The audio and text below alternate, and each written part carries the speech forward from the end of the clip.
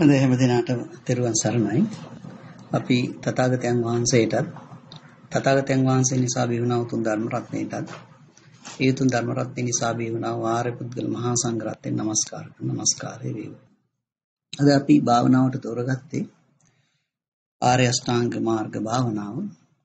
මේ ආර්ය අෂ්ටාංග මාර්ග භාවනාවේ තථාගතයන් වහන්සේ දේශනා කරන කතමංච භික්කවේ සම්මා දිට්ඨිය යම්කෝ භික්කවේ දුක්ඛේ ඥානං දුක්ඛ සමුදය ඥානං දුක්ඛ නිරෝධේ ඥානං දුක්ඛ නිරෝධගාමිනී ප්‍රතිපදාය ඥානං කියලා තථාගතයන් වහන්සේ දේශනා කරනවා. එතකොට මෙතන පෙන්නනවා මේ දුක්ඛය කියලා එකක් තියෙනවා.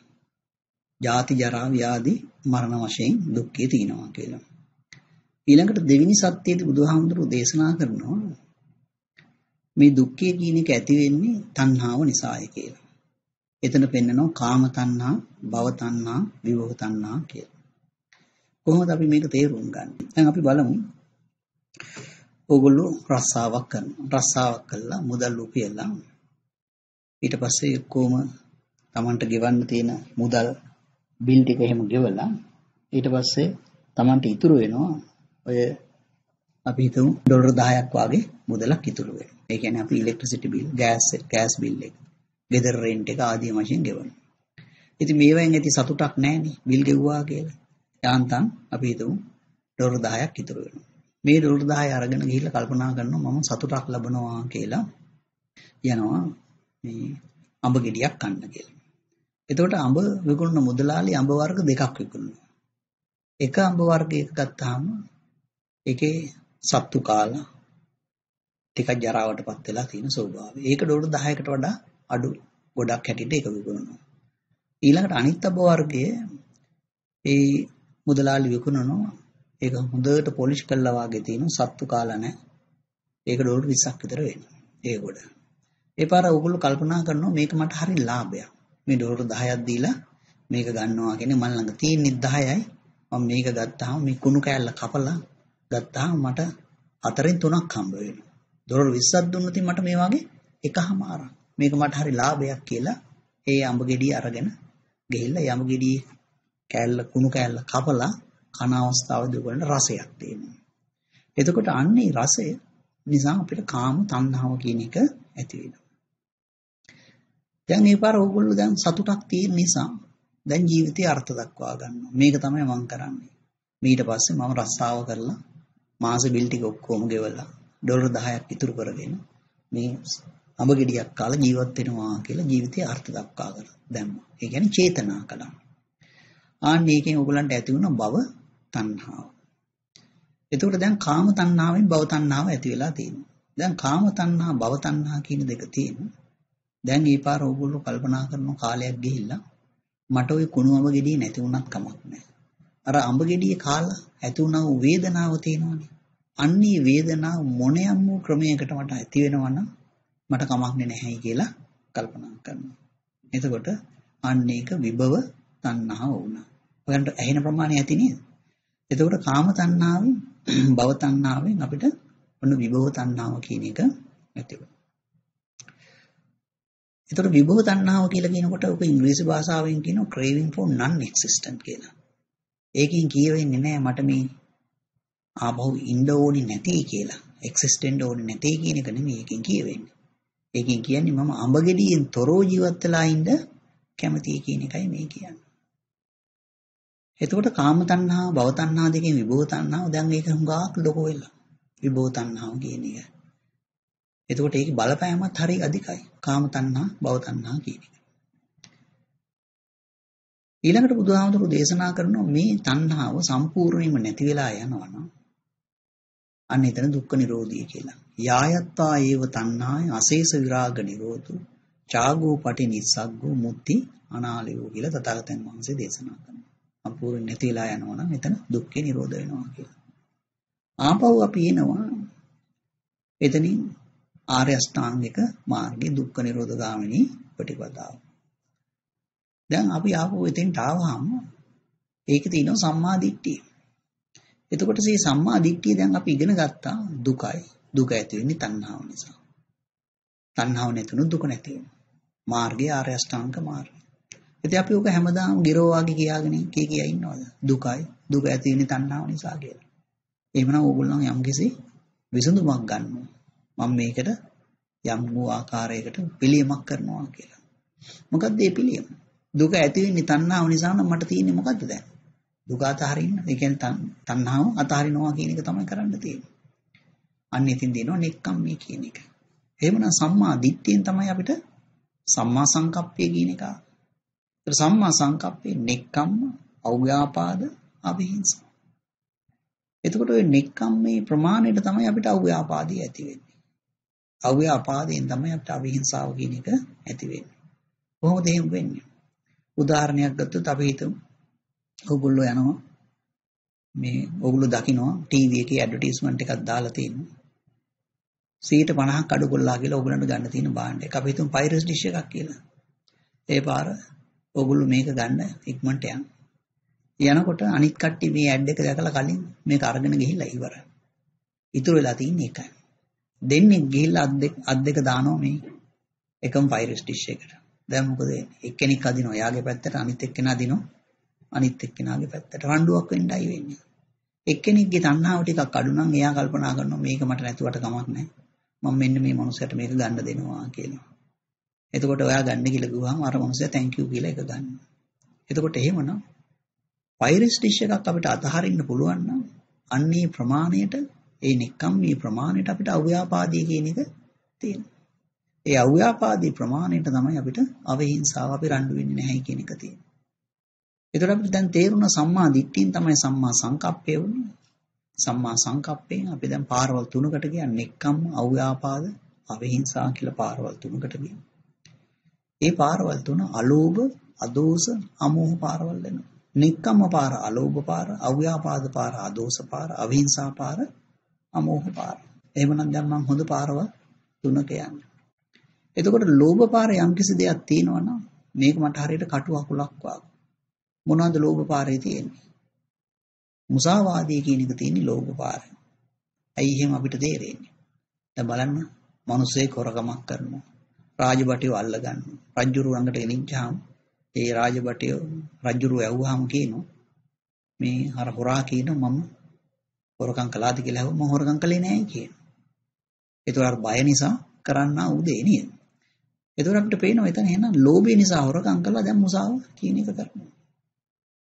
එතකොට එහෙනම් ලෝභ පාරේ තමයි මේ මුසාවාදී කියන එක තියෙන්නේ. මම යන්නේ අලෝභ පාර නිසා ලෝභ පාරේ තිබෙනා මුසාවාදේ මම අතහරිනවා. ඒ වගේම මම යන්නේ අව්‍යාපාද පාර. ඒ කියන්නේ අදෝස පාර. දේශ පාරේ තමයි පරුසා වාච විසුනා වාච තියෙන්නේ. මම යන්නේ අදෝස පාර නිසා දේශ පාරේ තියෙන පරුසා වාච විසුනා වාච මම අතහරිනවා. ඒ වගේම මම යන්නේ අමෝහ පාර. මෝහ පාරේ තමයි සම්ප්‍රප්ලාපේ හිම තියෙන්නේ. මම යන්නේ අමෝහ පාරේ නිසා මෝහ පාරේ දින සම්ප්‍රප්ලාපයෙන් මම අතහරිනවා. එහෙනම් බලන්න අපි සම්මා දිට්ඨිය සම්මා සංකප්පයට ආවා. ඒ කියන්නේ දුකයි කියලා තේරුම් ගත්තා. දුක ඇති වෙන්නේ තණ්හාව නිසා කියලා තමයි අපි අතහැරියේ. අන්න එක්කම්මේ. ඒ කියන්නේ සම්මා සංකප්පයට ආවා. සම්මා සංකප්පයෙන් තමයි සම්මා වාචාව කියන එකට අපි ආවේ. ඒ වගේම තමයි අපි යන්නේ අලෝභ පාර. ලෝභ පාරේ තමයි අදත්තා දානය කියන එක තියෙන්නේ. අපි යන්නේ අලෝභ පාර නිසා ලෝභ පාරේ තියෙන අදත්තා දානය අපි අතහරිනවා. අපි යන්නේ අදෝස පාර. දේශ පාර තමයි පානාතිපාතය කියන එක තියෙන්නේ. අපි යන්නේ අදෝස පාර නිසා දේශ පාරේ තියෙන පානාතිපාතය අපි අතහරිනවා. ඒ වගේම අපි යන්නේ අමෝහ පාර. මෝහ පාර තමයි ඔය කාමයේ වර්ධව හැසිරීම කියන එක තියෙන්නේ. කාමයේ වර්ධව හැසිරීම නිසා මෝහේ, මෝහය නිසා කාමයේ වර්ධව හැසිරීම. අපි යන්නේ අමෝහ පාර නිසා මෝහ පාරේ තියෙන කාමයේ වර්ධව හැසිරීමෙන් අපි අයින් වෙනවා. එහෙමනම් අපි ආවා සම්මා කම්මන්තේට. පානාතිපාත අදත්තා දාන කාමයෝරදව හැසිරින් පිනිව එපා කියලා. ඒතර සම්මා කම්මන්තයෙන් තමයි සම්මා ආජීවය කියන එක ඇති වෙන්නේ. ඉතින් සම්මා ආජීවිදි පෙන්නනෝනේ. භික්ෂුන් වහන්සේ නමක් මිච්ඡා ආජීවය පහ කළා සම්මා ආජීවයෙන් ජීවත් වෙනවා කියලා. එතකොට ඔය සම්මා ආජීවයේදී පෙන්නනවා භික්ෂුන් වහන්සේ නමක් පොළොව ඉරක් අඳින්නේ නේ. ගහ ගස්වල කොළ කඩන්නේ නේ ආදී වශයෙන් කියලා. ඉතින් පොළොව ඉරියන් දහම් සත්තු එහෙම මැරෙන්න පුළුවන් පොළොව යට ඉන්නේ. එතකොට ඔහොම බුදුහාමුදුරුවෝ ඔක විස්තර කරලා පෙන්නවට ඔක හරි ගැඹුරු අර්ථයකින් කියපු දෙයක්. සාම්පති මහබ්‍රහ්ම රහතන් වහන්සේ මට පවසනවා ඔය සම්මා ආජීවයෙන් තමයි දරුවා ඔය මානිය කියන එක නැති වෙන්නේ කියලා. ඒ දවස්වල මට ඒක බොහොම අහසද පොළොද වගේ පරස්තර වූ කාරණයක්. ඒක මම උදාහරණකින් ඔයගලන්ට පෙන්නන්නම්. අපි හිතමු මේ ලෝකේ තියෙනවා කියලා. ඒ සාගත කාලයක්. මිනිසුන්ට ආහාර නැහැ. එතකොට ඒ මිනිසුන්ට ආහාර නැතුව ඒගොල්ලෝ ආහාර නැතුව ඉන්නවා. හැබැයි ඕගොල්ලන්ගේ ගෙදර අපි හිතමු තියෙනවා කියලා නූඩල්ස් පැකට් දෙකක්. ඕගොල්ලෝ ආහාරත් අරගෙන නූඩල්ස් පැකට් දෙකක් ඉතුරු වෙලා තියෙනවා. කෑම ටික කාලා පාර්ට ගිහිල්ලා බැලුවාම පේනවා. පාරේ මිනිස්සු එහාට යනවා මෙහාට යනවා. මොකද ආහාර නැතුව හොයන්න. මොකද ඕගොල්ලන්ට හිතෙන්නේ? අනේ පව් කියලා හිතෙනවද? නැත්නම් මට නූඩල්ස් පැකට් දෙකක් ඇත කියලා හිතෙනවා. ඔයගලන්ට ඉස්සෙල්ලාම ඉන්නේ මට නූඩල්ස් පැකට් දෙකක් ඇත කියන එක. එතකොට ඒක ආවයෙන් පස්සේ ඒ කියන්නේ මාන්නේ නූඩල්ස් පැකට් දෙක තියෙනවා කියලා මාන්නේ. ඉතින් ඕගලන් නූඩල්ස් පැකට් දෙක විතරක් නෙමෙයි තියෙන්නේ. ඕගලන්ට ගෙවල් දොරවල් තියෙනවා, යාන වාහන තියෙනවා, මිල මුදල් තියෙනවා. ඔය හැම එකකින්ම අපිට මාන්නේ කියන එක නැති වෙනවා. බල්ලෙක් හිටියා, පූසෙක් හිටියා කියලා හරි ඒකෙන් හරි Tamante මාන්නේ කියන එක නැති වෙනවා. ඉතින් මම ඕක දැක්ක පන්සලක. අපි පන්සලට දානේ අරගෙන ගියාම ඒ හාමුදුරුවෝ දානේ වළඳලා කිව්වා ඊයේ දවසේ අපිට ආහාර හම්බුනේ නැහැ කියලා. කවුරුවත් ගෙනාවේ නැහැ කියලා. අපි දුක හිතලා අපි කතා කරනකොට හාමුදුරුවෝ hina වෙලා ඉන්නවා. මොකද හේතුව? හාමුදුරුවෝ hina වෙලා කියනවා පන්සලේ නූඩල්ස් පැකට් දෙකක් තිබිලා අපි තඹගෙන කෑවා කියලා. එතකොට දැන් බලන්න ඔය භික්ෂුන් වහන්සේ දන්නවා ඔය ආහාර ওই විදිහට හම්බුනේ නැත්තම් භික්ෂුන් වහන්සේ දන්නවා මෙන්න මේක තමයි මේ ගෘහපතිය විඳින්නා වූ දුක්ඛය. මෙයත් මේ මහන්සි වෙන්නේ මේ ආහාර හොයාගන්න මේ තරම් මේ දඟලනෝ මේ කරන්නේ මෙන්න මේ ප්‍රශ්නේ නිසා තමයි කියලා එයාට දුක්ඛය කියන එක වැටහෙනවා. එතකොට මේ භික්ෂුන් වහන්සේට අර නූඩල්ස් පැකට් දෙක තිබුණාම මේක වැටහෙන්නේ නැහැ. ඒකට මාන්නයක් ඇති වුණා. ඕක නිසා තමයි තථාගතයන් වහන්සේ භික්ෂුන් වහන්සේලාට පන්සලක නූඩල්ස් පැකට් නෙමෙයි කිසිම අමුද්‍රව්‍යයක් තියාගන්න බෑ. ලුණු ටිකක්වත් තියාගන්න තහනම්. එතකොට එයාට තේරෙනවා මේ ලෝකේ තිබෙනා දුක්ඛය. අද ආහාර වෙනදුවට හෙට වළඳන්න හම්බ වෙයිද කියලා දන්නේ නැහැ. අන්න එහෙම ජීවිතයක් වික්ෂු ජීවිතය, නිවැරදි වික්ෂු ජීවිතයක තියෙනවා. එතකොට අපිට තේරෙනවා මේ අපිට සම්මා ආජීවය නැහැ. අපි මිච්ඡා ආජීවයෙන් තමයි අපි ජීවත් වෙන්නේ. සම්මා ආජීවය කාටද තියෙන්නේ? පින්දපාත යන මුදල් පරිහරණය කරන්නේ නැති භික්ෂුන් වහන්සේ නමකට පමණයි. මුදල් පරිහරණය කරනවා නම් ඒත් සම්මා ආජීවයක් නැහැ. මුදලිය කියන එක හරි දරුණු දෙයක්. ඕනම කාමයක් ගන්න පුළුවන් දෙයක් නේ. ඔයගොල්ලෝ හිතනට වඩා දරුණු දෙයක් තමයි ඔය මුදල් කියන එක. එතකොට දැන් මේ අපිට පේනවා සම්මා ආජීවය කියන එක බොහොම ගැඹුරු ධර්මයක්. ඒකෙන් තමයි ඔය අපේ මාන්නය කියන එක අපිට නැති කරගන්න පුළුවන්කම ඇති වෙන්නේ. එතකොට ඔය ආර්ය අෂ්ටාංග මාර්ගය කියන එක භාවනා හතරක්. භාවිත කාය, භාවිත සීලා, භාවිත චිත්තා, භාවිත ප්‍රඥා කියලා භාවනාවන් හතරක් වෙනවා. එතකොට මේක මේ භාවිත කාය කියන කොටසට වැටෙනවා. ඔය සම්මා කම්මන්තයයි සම්මා ආජීවයයි කියන එක. ඒකෙන් අපිට ඇති වෙන්නේ මොකද්ද? ඡන්ද සමාධි. ඡන්ද සමාධිය කියලා කියන්නේ ඔගොල්ලෝ කවදා හරි තේරුම් ගත්තොත් මේ විඥානයේ කිසිම ආකාරයකින් පවත්වන්න බෑ කියලා. එහෙමනම් පවතින්නේ නැති විඥාණයට තියෙන කැමැත්ත බෑලා යනවා. පවතිනා වූ නිර්වාණයට කැමැත්ත ඇති වෙනවා. අන්න ඒක තමයි ඡන්ද සමාධිය.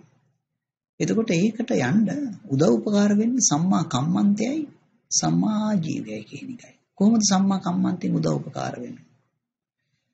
දැන් බලන්න සම්මා කම්මන්තේ නැත්තම් අපිට තියෙන්නේ මිච්ඡා කම්මන්තේ. මිච්ඡා කම්මන්තේ තියෙනවා නම් අපි පාණාතිපාත දත්තා දාන කාමිය වර්ධව හැසිරීම කරනවා. ඒතර පාණාතිපාතය ඔයගොල්ලෝ කරනවා නම් ඒ පාණාතිපාතය කරන්න සතෙක්ව මරන්න කියලා ඔයගොල්ලෝ හිතනකොටම ඔයගලන්ට දිග හුස්මක් ඇදෙනවා. දිග හුස්මක් ගන්නෙ නැතුව මේක හිතන්න බෑ. ඊළඟට ඒ සතා මරන්න පීය උස්සනකොට දිග හුස්මක් ඇදෙනවා. ඒ සතා මරන්න පීයෙන් අනිනකොට දිග හුස්මක් ඇදෙනවා. මම මේක කරන්න යන්නේ නැත්තම් සතා මරන්න හිතන්න හුස්මක් ගන්නෙ නෑ. සතා මරන්න පීය උස්සනකොට හුස්මක් ගන්නෙ නෑ. පීය අනින්න හුස්මක් ගන්නෙ එහෙමනම් ආස්වාස පාස්වාස නිරෝධයෙන් චතුත්ථ ධාන සමාපatti ආන්න ඒකෙන් තමයි ඒ අපි ඡන්ද සමාධිය කරා ගමන් කරන්නේ.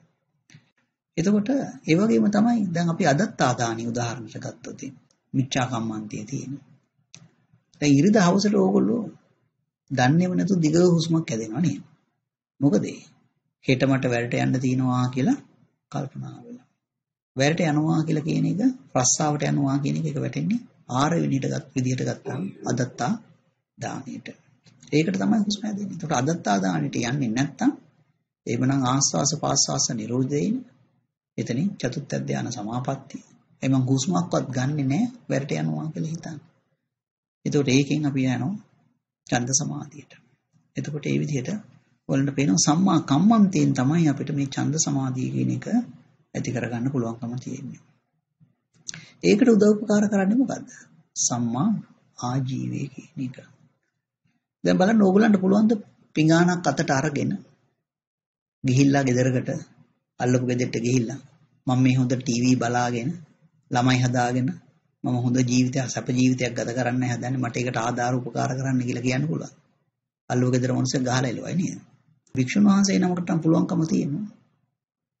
ගිහිල්ලා කියන්න අනේ මේ ලෝකේ දුකයි. මේ දුක්ඛයයි කියලා දැනගෙන මම මේ දුක්ඛය කෙලවර කරගන්නයි මම මේ උත්සාහ කරන්නේ.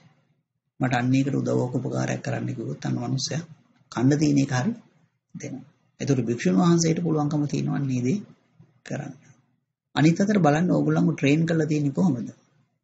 අද ට්‍රේන් කරලා තියෙන්නේ තමන් හොඳ කකුල් දෙකෙන් හිටගෙන රස්සාවක් කරගෙන මුදල් උපයාගෙන ජීවත් වෙන්නේ කියලා. එතකොට මේ විදිහට මේ පින්ඩපාතේ ගිහිල්ලා ඒ කියන්නේ ආහාර ටිකක් හිඟා කාලා ජීවත් වෙනවා කියන එක හොඳයි කියන එක මිනිස්සු කියලා නැහැ නේද? ලව බුදුහාමුදුරු පෙන්නනවා මේ සංසාර කෙලවර කරගන්න නම් අන්න ඒක තමයි කරගන්න තියෙන්නේ කියන එක. ඒතකොට ඒක නිසා අපිට පේනවා මේ අපේ මිච්ඡා ආජීවයෙන් මිච්ඡා ආජීවයෙන් අපිට තියෙන මාන්නේ මාන්නේ විසින් වළක්වනවා අර විදිහට ආහාර ටිකක් හිඟා කාලා හරි ජීවත් වෙලා මේක කෙලවර කරගන්නවා කියන එක. එතකොට එහෙනම් සම්මා ආජීවය තියෙනවනම් සම්මා කම්මන්තයට උදව් උපකාර කරනවා. හිඟා කාලා හරි මේක කරගන්න එක හොඳයි කියන එක පෙන්නනවා. එතකොට ඒකෙන් ආස්වාස පාස්වාසයම නිරෝධ වෙලා චතුත්ථ ධ්‍යාන සමාපත්තියට ගිහිලා ඡන්ද සමාධිය. එතකොට එහෙනම් ඔයගලන්ට පේනවා මේ ඡන්ද සමාධියේදී කාය සංස්කාරයන් කියන ඒවා නිරෝධයටපත් වෙනවා කියලා. එතකොට මේකට උඩින් එකක් එනවා යටින් තව එකක් එනවා. උඩින් එනවා සම්මා වාචාව යටින් එනවා සම්මා වායාමී කියන එක. මේ දෙක භාවිතා කිරීමෙන් ඔයගලන්ට ඇති වෙනවා චිත්ත සමාධිය. මොන ආකාරයේද චිත්ත සමාධිය? දැන් අපි බලමු අපි හිතමු ඔයගොල්ලෝ පාඩම් කරනවා. ඔය පාඩම් කරනකොට ඔය එතෙන්ට ඇවිල්ලා කවුරු හරි මිනිස්සු දෙන්නේ කියවනු. ඒ දෙන්න කියව කියව ඉන්නවනම් මම හරි කරදරයක් නේද? වැඩ කරගන්න හම්බ වෙන්නේ නැහැ. ඉතින් ඕගොල්ලන්ගේ අම්මා තාත්තා හරි ඒ දෙන්න වයින් කරා කියන්නකො මේ ළමයා පාඩම් කරගන්නවා මෙතනින් යන්න කියලා. ඒ දෙන්න අපි හිතමු ඈතට ගිහිල්ලා දැන් ඕගොල්ලන්ට සද්දය ඇහින්නේ ඈතට ගිහිල්ලා කියවනවා. ඒ වුණත් ඕගොල්ලන්ගේ ඇතුලෙන් මනසෙන් කැරකෙනව නේද? අර දෙන්න මහා කරදරයක් නේ මට මෙතන කරේ. ඒ දෙන්න මේ කියුවා. ඊළඟට ඕගොල්ලෝ යනවා ඒගොල්ලන් කියපු වචන වලට. මොනවද ඒ කියුවේ? ඒගොල්ලෝ මේ මෙන්න මේවා ගැන කතා කරා. පළක් ඇති දේවල්ද ඕකී කිය තමන්ගේ මනසින් අරගොල්ලන්ට බනිනවා. ඒ කියන්නේ ඇතුලේ mental rambling ඇතුලේ මේවා කැරකීමක් කියන එක තියෙනවා. සිතේ එකඟභාවයක් නැහැ. මෙතන මේ දෙන්න නැති වුණත් පාඩම් කරන්නේ නැහැ. එහෙනම් දැන් අර දෙන්න වෙන වෙන මෙතන ඉන්නවා කියන එක තියෙනවා. දැන් බලන්න.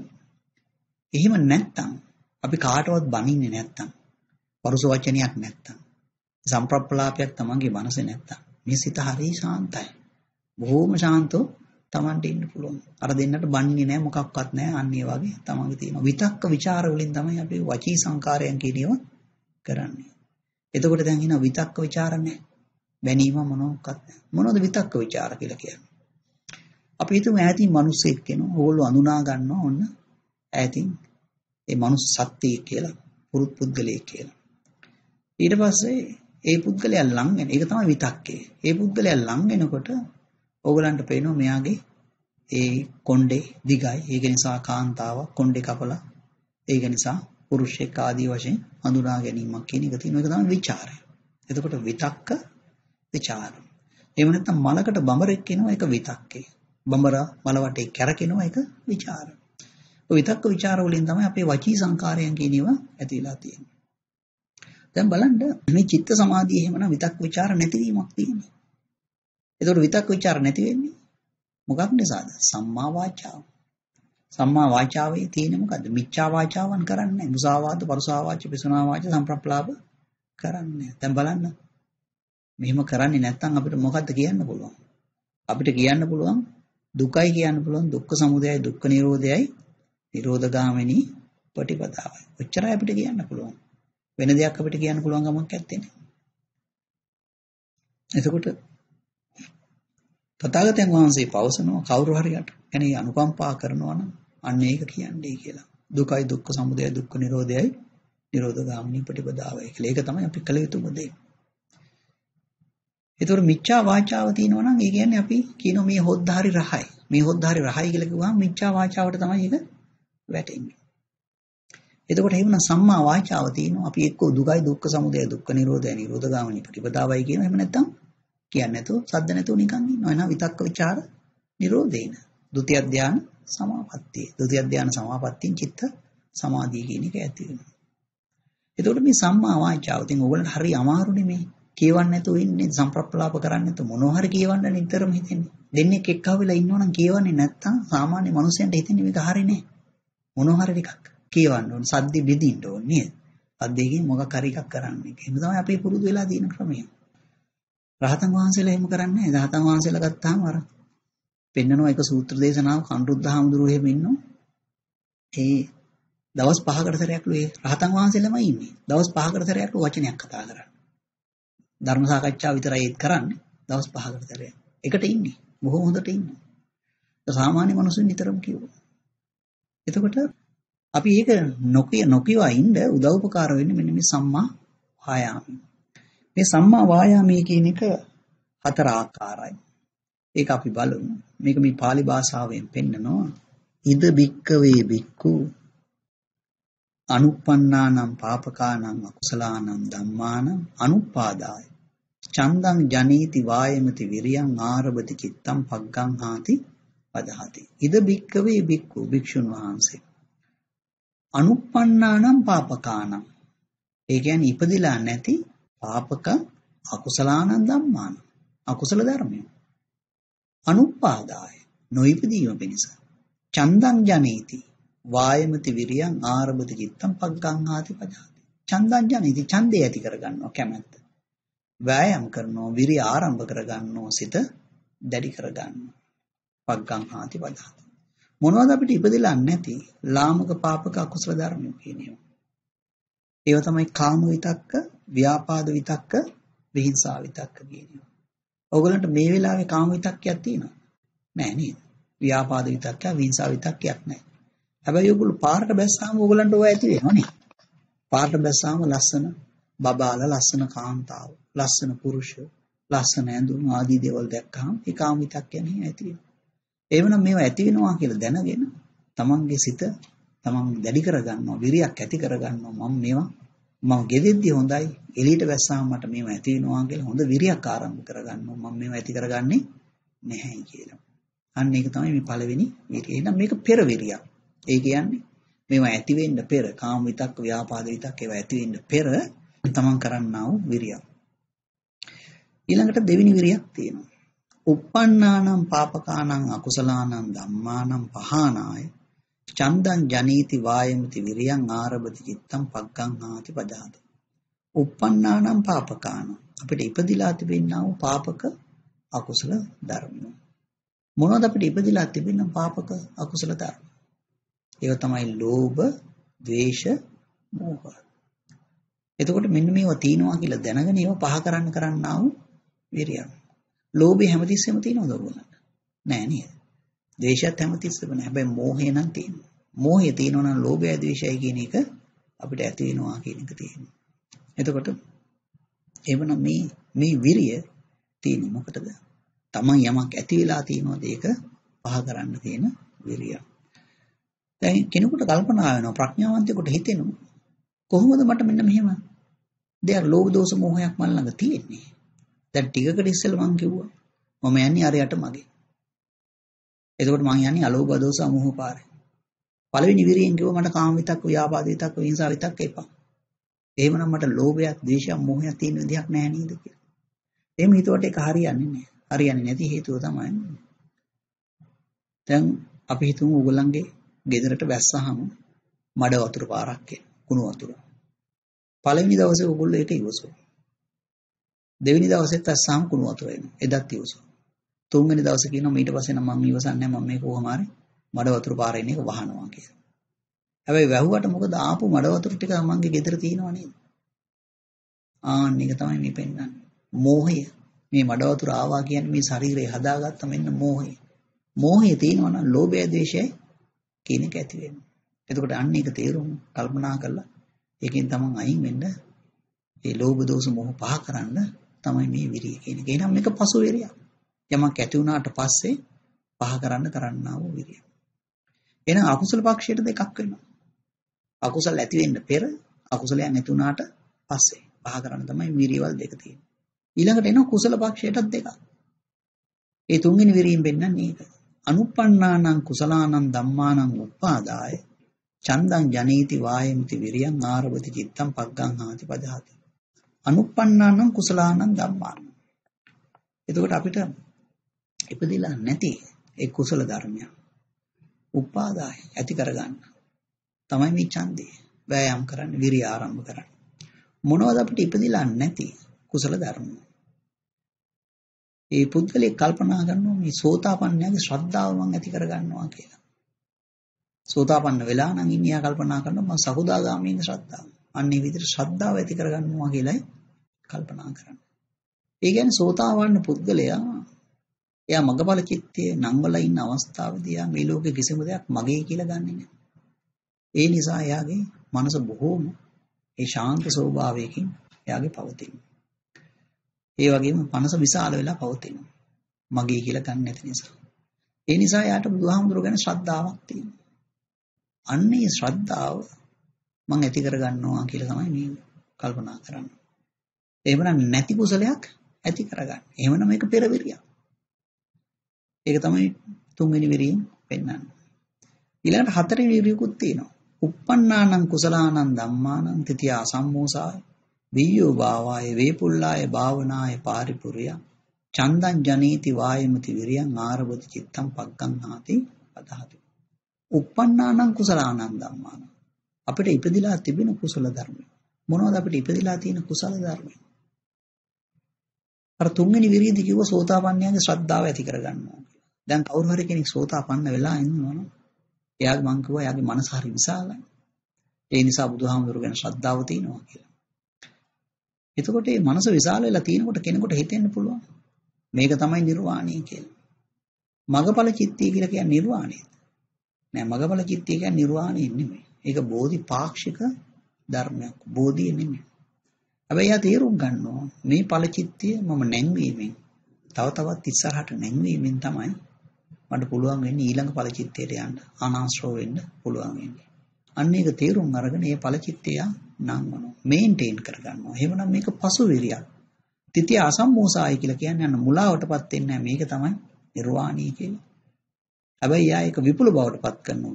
වේපුල්ලාය. විපුල බවටපත් කරනවා. භාවනාවෙන් පරිපූර්ණත්වය. භාවනායේ පාරිපූර්ණිය. පරිපූර්ණත්වයටපත් කිරීම සඳහා ඡන්දයක් ඇති කරගන්නවා. වෑයම් කරගන්නවා. සිත දැඩි කරගන්න පග්ගං ආති පදහති කියලා මෙතන. එතකොට එහෙමනම් මේක කුසල පක්ෂයේ වූ පසුවිරියක්. ඒතර අකුසල පක්ෂයට දෙකයි කුසල පක්ෂයට දෙකයි. මේ විරිය නැතුව ඔයගලන්ට කිසි දෙයක් කරන්න බෑ. ඇඳෙන් නැගිටින්නත් බෑ. ආහාර ටිකක් උයන්නත් බෑ, රසාවට යන්නත් බෑ, ඉගෙන ගන්නත් බෑ. මේ විරිය විරිය හරිය වැදගත්. එතකොට මේක මේ pāli භාෂාවෙන් මතක තියාගෙන මේක මෙනෙහි කරනවාද? ඒකම ඇති ප්‍රීතිය ඇති වෙනවා. ඒ තරම් දෙයක් මේ විරිය කියන එකේ තියෙනවා. දැන් එහෙනම් අපි ඉගෙන ගත්තා භාවිත කාය එතෙන්දි කාය සංස්කාර නිරෝධේ භාවිත සීල එතන වචී සංකාර නිරෝධය කියන එක ඇති වෙනවා කියලා. අතට හරියට මගේ කොටස් හතරයි. මේකට උඩින් එකක් එනවා යටින් තව එකක් එනවා. අන්න ඒකට කියනවා භාවිත චිත්තා කියලා. ඒකේ තියෙන්නේ සම්මා සංකප්පයයි සම්මා සමාධියයි කියන දෙක. එතකොට ඒකෙන් ඇති වෙනවා අපිට විරිය සමාධිය කියන එක. විරිය සමාධිය තියෙන්නේ අපි චිත්තං අපි බලන්න භාවිත කාය කිව්වම කාය සංස්කාර නිරෝධ කළා. භාවිත සීලා කිව්වම වචී සංකාර නිරෝධය. දැන් ඉතුරුලා තියෙන්නේ චිත්ත සංස්කාර. චිත්ත සංස්කාර වලින් දැන් කොටසක නිරෝධය මොන වගේ දේවල්ද? ඊර්ෂ්‍යාව, මච්චරිය, මක්කේ, පලාසය අපි අදහවසට ඉගෙන ගන්න. අන්නේ ධර්මයන්ගේ පහ කිරීම තමයි මේකෙන් පෙන්වන්නේ. ඒතර බලන්න මේ සම්මා සංකප්පේ තමයි ඒකට උදව් උපකාර වෙන්නේ. නෙක්ඛම්ම, අව්‍යාපාද, අවිහිංසා. දැන් බලන්න මම අතහැරියනම් වෛරස් ඩිෂ් එක අතහැරියනම් මට අර මනුස්සයා ගැන ඊර්ෂ්‍යාවක් නැහැ නේද? මම හරියට අතහැරියනම් මම සතුටුත් වෙනවා. මොකද මම ධානයන්ටත් ගිහිල්ලා මම සතුට වෙනවා අද හරි හොඳයි මම මේව අතහැරිය මට අතහරින්න පුළුවන් බුද්ධලේ මම මේ මනුස්සයාට ඒක ගන්න දුන්නානේ කියලා. ඒකෙන් තමයි ප්‍රීති හිතන් ගලාගෙන එන්නා වූ එක. ඒ වගේම මේ සම්මා සමාධිය. ඒතකොට මේ සම්මා සංකප්පේ ඒව භාවිතා වෙලා අපිට සම්මා සමාධිය. මොකද්ද සම්මා සමාධිය කියලා කියන්නේ? එතන පෙන්නනවා විවිච්ඡේව කාමෙහි විවිච්ඡ අකුසලෙහි ධම්මෙහි සවිතක්කං සවිචාරං විවේකජං ප්‍රීති සුඛං ප්‍රථම ධානං උපසම්පච්ච විහෙරති. කාමයන්ගෙන් වෙන් වෙලා අකුසල ධර්මයන්ගෙන් වෙන් වෙලා විතක්ක ਵਿਚාර කියන ඒවා අපි භාවිතා කරනවා. එතකොට මේ විතක්ක ਵਿਚාරය තමයි නෙක්කම්ම අව්‍යාපාද අවිහිංසා. අන්න ඒවා භාවිතා කිරීමෙන් ඒ කියන්නේ සම්මා සංකප්පයේදී කියුව එකම තමයි නේද? නෙක්කම්ම අව්‍යාපාද අවිහිංසා. අන්න ඒක සඳහා මගේ සිත එකව කරගත්තා. සමාදම් කරගත්තා. අන්න ඒකෙන් තමයි මට මේ පළවෙනි ධානය. ඉතින් මෙතන ධාන හතරම බුදුහාමුදුරු දෙන්නනවා. ඒකෙන් විරිය සමාධිය දැන් අපි චිත්ත සංස්කාර වල කොටසක් නිරෝධය කරා ගමන් කරා. ඒතර අපි ඉගෙන ගත්ත භාවිත කාය, භාවිත සීලා, භාවිත චිත්තා, චිත්ත සංස්කාර කොටසක් නිරෝධය. එහෙමනම් මේ භාවනා තුනයි. ඉතින්දී අරියට මගේ කොටස් 6යි. දැන් මේකේ උඩින් එකක් එනවා යටින් තව එකක් එනවා. මොකද උඩින් එන්නේ? සම්මා දිට්ඨිය යටින් එනවා සම්මා සතිය කියන එක. ආන්න ඒකට කියනවා භාවිත ප්‍රඥා කියලා. ප්‍රඥාව වඩනවා නේද? එතකොට සම්මා දිට්ඨිය කියන එක අපි ඉගෙන ගත්තානේ. එතකොට සම්මා දිට්ඨිය දුකයි දුක්ඛ සමුදය දුක්ඛ නිරෝධය නිරෝධගාමිනී ප්‍රතිපදාව එහෙම හිතාගෙන තමයි අපි අර අතහැරලා සම්මා සංකප්පේ විදිහට ආවේ. ඉතින් මෙතන සම්මා දිට්ඨියෙන් තමයි සම්මා සතිය කියන එක ඇති වෙන්නේ. සම්මා සතිය කෙටියෙන් පැහැදිලි කරනවා නම් ඒක පෙන්නනවා ඉති රූපං ඉති රූපස්ස සමුදය ඉති රූපස්ස අත්ංගමෝ කියලා. රූපේ මේ ආකාරයි රූපේ සමුදේ මේ ආකාරයි රූපේ අස්තංගමය මේ ආකාරයි කියලා පෙන්වනවා. ඒක අපි තව චුට්ටකින් බලනවා. ඒ භාවනා කොටස. එතකොට ඔය සතර සතිපට්ඨානේ බුදුහාමුදුරුවෝක කායානුපස්සන, වේදනානුපස්සන, චිත්තානුපස්සන, ධම්මානුපස්සන කියලා ඒ අනුපස්සන හතරකින් බුදුහාමුදුරුවෝ දේශනා කරනවා. මේක භාවිතා කරාම මොකලට ඇති වෙනවා විමර්ශා සමාධිය කියන එක.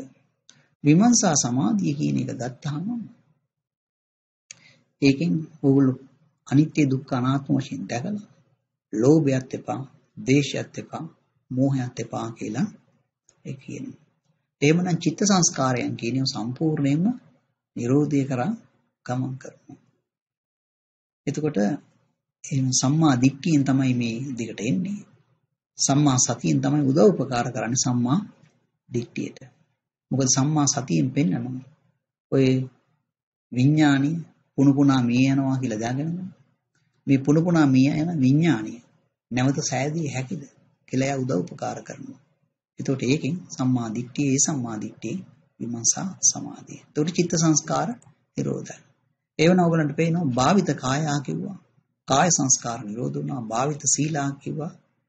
භාවිත සීලා කියන කොටසෙන් වචී සංකාර නිරෝධ වුණා. භාවිත චිත්තා කිව්වා.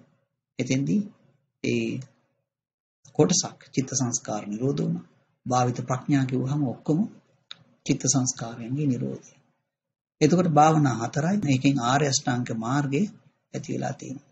සම්මා දිට්ඨියෙන් තමයි සම්මා සංකප්පය ඇති වෙන්නේ. සම්මා සංකප්පයෙන් තමයි සම්මා වාචාව කියන එක ඇති වෙන්නේ. ওই විදිහට ගිහිල්ලා සම්මා වායාමයේ සම්මා සතිය සම්මා සතිය සම්මා සමාධිය. සම්මා සමාධියෙන් සම්මා ඥානෙ සම්මා ඥානෙන් සම්මා විමුක්තිය කියන එක ඇති වෙනවා. එතකොට තථාගතයන් වහන්සේ දේශනා කරනවා.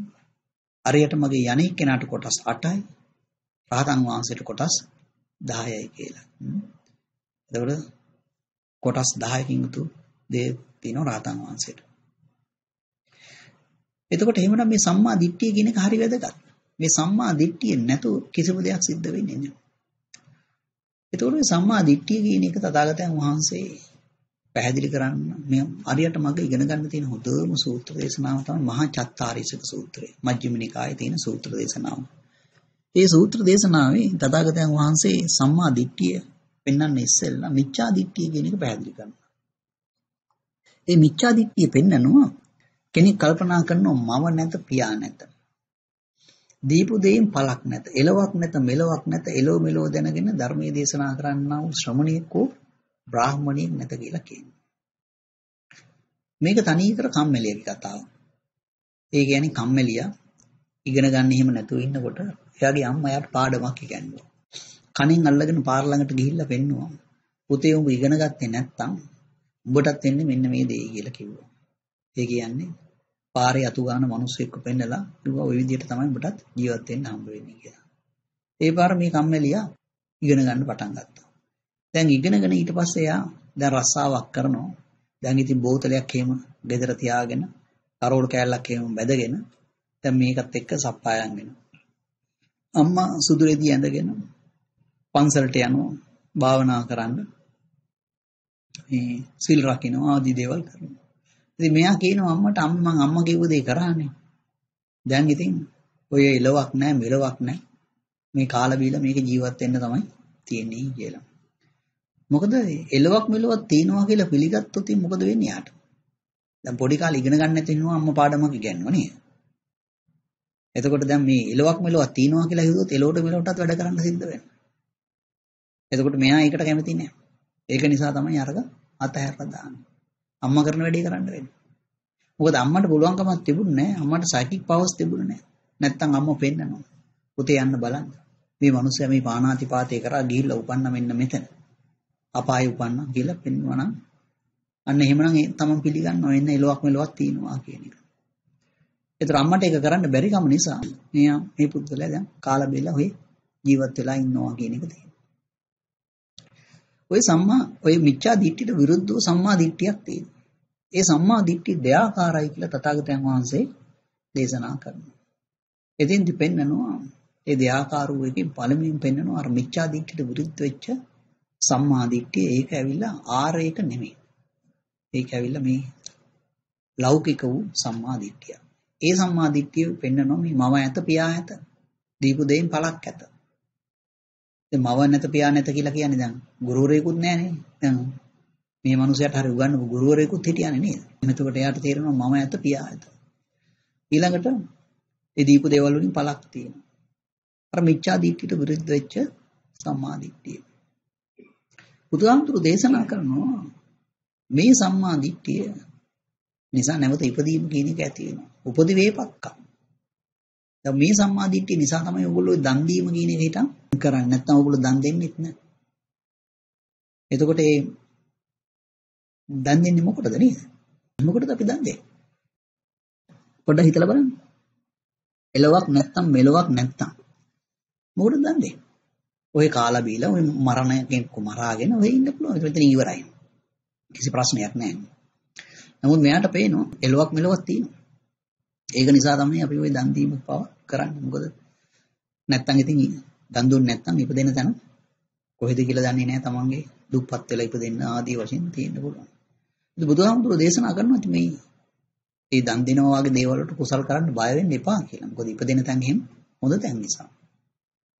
ඊළඟට බුදුහාමුදුරෝ දේශනා කරනවා කතමංච බික්කවේ සම්මාදිට්ඨි අරිය අනාශ්‍රව ලෝකෝත්තරා මග්ගංගා කියලා.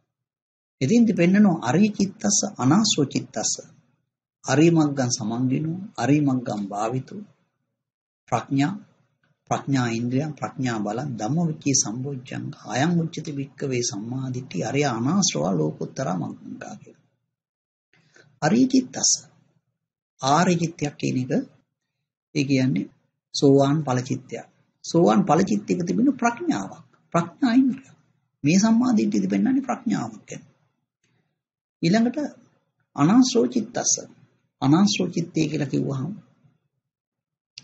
ඒ අපේ මේ මනස නවත්තන්න පුළුවන්. මේ මනස නැවතුනහම කොහාටවත් දුවන්නේ නැහැ. හරියට බයිසිකල් රෝදයක්. අපි දන්නවා නතර වෙන්න එනකොට දකුණු පැත්තට ගියා වම් පැත්තට ආව මැද්දෙන් නතර වුණා. ආන් ඒ වගේ අපේ මනස අපිට නවත්තන්න පුළුවන්කම කියන එක තියෙනවා. දැන් සාමාන්‍යයෙන් නම් අපි ওই ගහක් දැක්කම පොල් ගහක් දැක්කම අපි දන්නේම නැතුව අපි රචනයක් ලියනවා. දන්නවද ඒක? මොකද්ද අපි කියන්නේ? අපි කියනවා මේ පොල් ගහේ ගෙඩි කන්න පුළුවන්. පොල් අතු වියන්න ගන්න පුළුවන්. පාපිසි වලට ලෙලි වලින් ඒව ගන්න පුළුවන්. ආදී වශයෙන් කියන පරාල වලට ගන්න පුළුවන් කියලා. මොකද්ද මේකේ තියෙන්නේ? මේ රචනයේ තියෙන්නේ ඕගොල්ලන්ගේ භවය පවත්තන්න වෙන්නා වූ උදව් උපකාරය කියන එක තමයි ඒකේ තියෙන්නේ. පොල් ගහක් කොන්නේ වල් ගහක් දැක්කත් ඕක කියනවා. අනේ මේ වල් ගහ නැතුව මොකුණ වෙන්න ගහක් තිබුණා නම් මට කන්න පුළුවන් නේ කියලා කියනවා. අන්න රහතන් වහන්සේට පොල් ගහ දකින්න. රහතන් වහන්සේ දැක්කට රහතන් වහන්සේට රචනයක් නෑ. අරකේ අර භවයේ පවත්තන්න තියෙන විස්තරේ කියන එක නෑ. අන්න ඒක නිසා මොකක්වත් රෙකෝඩ් වෙන්නේ නෑ. කිසිම සංඥාවක් එතන නැති හින්දා රෙකෝඩ් වීමක් නැති හින්දා බොහොම සැපයක් කියන එක එතන තියෙනවා. ඒක තමයි අනාශ්‍රව චිත්තය. අන්නේ අනාශ්‍රව චිත්තය තිබෙනා වූ ප්‍රඥාව ප්‍රඥා ඉන්ද්‍රිය කියන්නේ. ඊළඟට තියෙනවා අරි මග්ගන් සමන්නින. ඒ කියන්නේ සෝවාන් මාර්ග චිත්තයක තිබෙනා වූ ප්‍රඥාව ප්‍රඥා ඉන්ද්‍රියක්.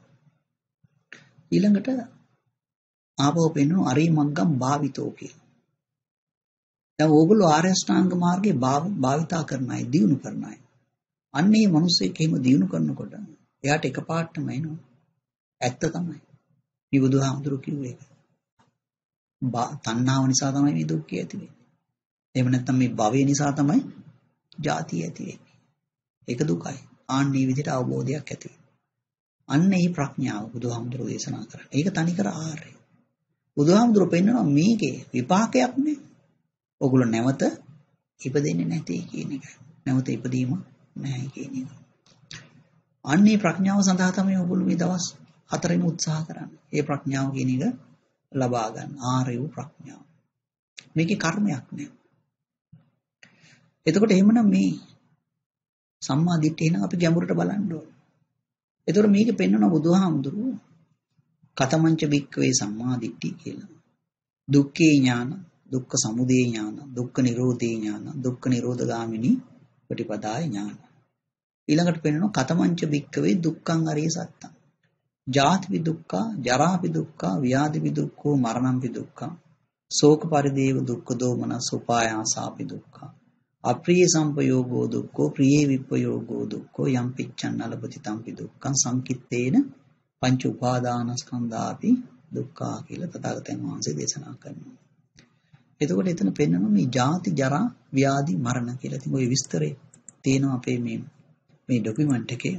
ඔයගලන්ට පේනවා මේ යටින් ලියලා තියෙනවා ජාති ජරා ව්‍යාධි මරණ දුක්ඛ දෝමනස ශෝක පරිදේව උපායාස ප්‍රී විප්පයෝග අප්‍රී සංපයෝග යම් පිච්චන්න ලබති තම්පි දුක්ඛං කියන එක.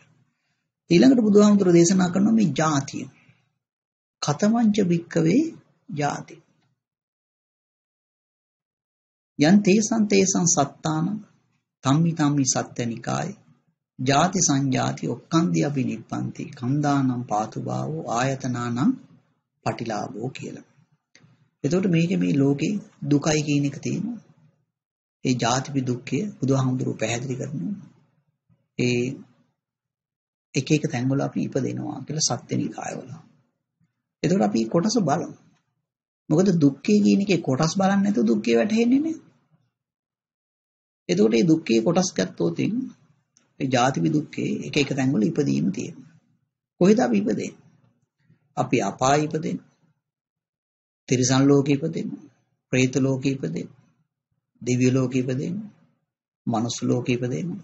බ්‍රහ්ම ලෝකෙ ඉපදෙන්නේ. ඕවා තමයි ඉපදෙන තැන. අසුර ලෝකේ ගත්තොත් ප්‍රේතය වගේ කියලා හිතන්න. එතකොට දැන් අපාය කොහෙද මේ අපායවල කියනව තියෙන්නේ? දැන් බලන්න අපි මනුස් ගෙවල් වල මිනිස්සු රණ්ඩු වුණාම නෝනයි මහත්තයයි රණ්ඩු වුණාම කියනවා මේක තමයි අපාය කියලා. ඒගොල්ලෝ මේක තමයි අපාය කියලා කිව්වට මේක මනුස්ස ලෝකේ නිසා මේක අපාය නෙමෙයි. හැබැයි අර අපාය වගේ තත්ත්වයක් එයාට ඇති වුණා කියන එක පේන්න තියෙනවා. වෙලක් වෙලාවට මිනිස්සු කියනවා මේ ලිඳක් කාරගෙන වාගේ යනකොට මොන පල්ලෙන් සද්දයක් හමුණා කියලා. ඒගොල්ලෝ හිතනවා ඒක තමයි පොළොව යට තමයි අපාය තියෙන්නේ කියලා. මේ අපි ඉන්න මහ පොළොව යට නම් අපායක් නැහැ. හැබැයි ඔය පොළොව යට කියන අර්ථේ නම් ඒකේ නම් තේරුමක් තියෙනවා. කොහෙද ඔය අපායවල තියෙන්නේ? ඒව තමයි ග්‍රහ ලෝක. බ්‍රහස්පති ග්‍රහ ලෝකේ, අඟහරු ග්‍රහ ලෝකේ, ප්ලූටෝ කියලා එහෙම තියෙන්නේ. ඒව තමයි ඔය අපායවල් කියන්නේ. ඔයගොල්ලෝ දන්නවා ඔය ඇමරිකාවේ මැෂින් එකක් එහෙම යවලා තියෙනවා. ඒ ඒ මැෂින් එක අඟහරු ග්‍රහ ලෝකේ මම ඕක දැක්කා පළවෙනි පාරට. මට පුළුවන් මනෝමය කායෙන් යන්න. මම ගියාම මම දැක්කා මේ මැෂින් එක ඒක නම් ගති උත්තක් නෑ ඒකේ මේ දූවිල්ල වැඩි වැඩි වාගේ තියනවා කියන එක පේනවා. බයිසිකල් හැන්ඩල් එකක් වාගේ එකක්. ඉතින් මම රහතන් වහන්සේත් එක්ක ගිහින් රහතන් වහන්සේගෙන් අහුවා මෙතන අපායක් නැද්ද කියලා. තියෙනවා කිව්වා. එදා මාව එක්කගෙන ගියේ අපායට. ඔය මැෂින් එක ලේසි වෙන්නේ නෑ ඔක හොයන්න. ඔය තියෙනවා අර ලංකාවේ තියෙන ගිරදුර්ග පල්ලෙහාට බහින තැන්. ආන් ඒ වාගේ ඒ ක්‍රේටර්ස් තියෙනවා. ඒ ක්‍රේටර්ස් වල ඇතුළට යන්න ඕන. පල්ලෙහාට ඇතුළට යන්න ඕන. පොළොව යටට යන්න ඕන. ඉතින් අපි මේගොල්ලෝ ටික ටික හොයාගන්න ඕගොල්ලෝ දන්නවා. ඒ ඕගොල්ලෝ ටයිප් කළොත් ඒ Google එකේ unusual hole in the Mars කියලා. ඒකේ එනවා පික්චර් එකක්. ඒ පික්චර් එක හරියට නිදක් වගේ. ඇරිච්ච තැනක් තියෙනවා. ලිඳේ නම් මායිම පේනවනේ බැම්ම හිපන්. මේක එහෙම මොකක්වත් පේන්නේ නැහැ. ඕපනින් එකක්. ඒගොල්ලෝ හිතුවා ඒ දවස්වල මේකයට තමයි වතුර තියෙන්නේ. මේකයට තමයි සත්‍ය වෙන්නේ කියලා. ඒගොල්ලෝ හරි. ඒකට තමයි සත්‍යෝ ඉන්නේ. ওই පොළොව යට ඒ තියෙනවා බිල්ඩින්ග්ස් හිටන් තියෙනවා. එතකොට බ්‍රහස්පති ග්‍රහ ලෝකේ ඒකේ මූන්ස්ම තියෙනවා 50. ඒකේ අපායවල තියෙනවා 70 ගාන. ප්ලූටෝ වල තියෙනවා අපායවල 19. එතකොට ඔය වගේ මේ ග්‍රහ ලෝක තමයි අපායවල කියන්නේ. තථාගතයන් වහන්සේ බාල පඬිත සූත්‍රය දේශනා කරනවා මේ බාලයා ওই පානාතිපාතය වගේ දේවල් කරලා ගිහිල්ලා මේ අපාය වගේ තැන්වල ගිහිල්ලා ඉපදෙනවා කියලා. එතකොට ඒකේ ඉපදිලා යාට විඳින්නා වූ දුක් තථාගතයන් වහන්සේ දේශනා කරනවා මේ මේ විදිහට එයාව මරනවා, කපනවා, කොටනවා. ඒ වගේම යාට ගිනි වතුර වගේ දේවල් වක් කරනවා. ආදී වශයෙන් තථාගතයන් වහන්සේ පෙන්වනවා. එහෙම කියලා කියනවා මේ ලෝකේ මේ විස්තරය අපාය ගැන විස්තරය තාමත් ඉවර නැහැ කියලා. මොකද අපායවල තමයි මේ ලෝකෙ වැඩියෙන් ගන්නම තියෙන්නේ. 136ක් ගණන් කරලා තියෙනවා ඊටත් වඩා වැඩි කියන්න පුළුවන්. ඊළඟට ඔය මුගලන් හාමුදුරු මාරතජ්ජන සූත්‍රය දේශනා කරන මුගලන් හාමුදුරු කලින් භවයක දුසින් කියන මාරයා වෙලා ඉඳලා පෙර තථාගතයන් වහන්සේගේ අග්‍ර ශ්‍රාවකයෙක්ගේ ඔළුව පැලුවා ගලක් ගහලා. ඒ අග්‍ර ශ්‍රාවකයා ලේ පෙරාගෙන යනවා තථාගතයන් වහන්සේ ඉස්සරහින් වඩිනවා තථාගතයන් වහන්සේ අනිත් පැත්ත හැරලා බැලුවා. බලලා කිව්වා තමාගේ තරම දන්නේ නැහැ කියලා. තරම ඉක්මුවා කියලා. ඒ වෙලාවේ මාරදේවි පුත්‍රයාට ළමා වයසක් මාවගෙන හිටියේ. එයා එතනින් චුත වෙලා ගිහිල්ලා අපාය උපන්නා. ඒ මුගලන් හාමුදුරන්ගේ පෙර භවයේ. එතකොට මේක කියන්නේ මේ අද ඉන්න මාරයාටම තමයි මුගලන් හාමුදුරු දේශනා කරන්නේ. දැන් ඉන්න මාරය මුගලන් හාමුදුරන්ගේ ඒ භවයේ හිටපු බෑන. මුගලන් හාමුදුරන්ගේ අපාය ඉපදිච්ච භවයේදී ඒ ශරීරයේ තිබිලා තියෙන්නේ හරියට මිනිස්සෙක්ගේ ශරීරයක්. ඔළුව තිබිලා තියෙන්නේ මාළුවෙක්ගේ ඔළුවක් වගේ ඔළුවක්. එහි ඉන්න නිර්සත්‍යෝ යකඩ කුරක් බැස්සෝලු ශරීරය හරහා අවුරුදු 1000ක් තිබුණලු ඒක. ඊට පස්සේ ඒක වැටුනහම තවත් තවත් යකඩ කුරක් බස්සලා තියෙනවා. ওই විදිහට විඳපු දුක් වේසනා කරනවා. ඉතින් මටත් කියන්න පුළුවන්. මමත් ඔය අපායට ගිහිල්ලා උපන්නා මීට බව 40කට පෙර.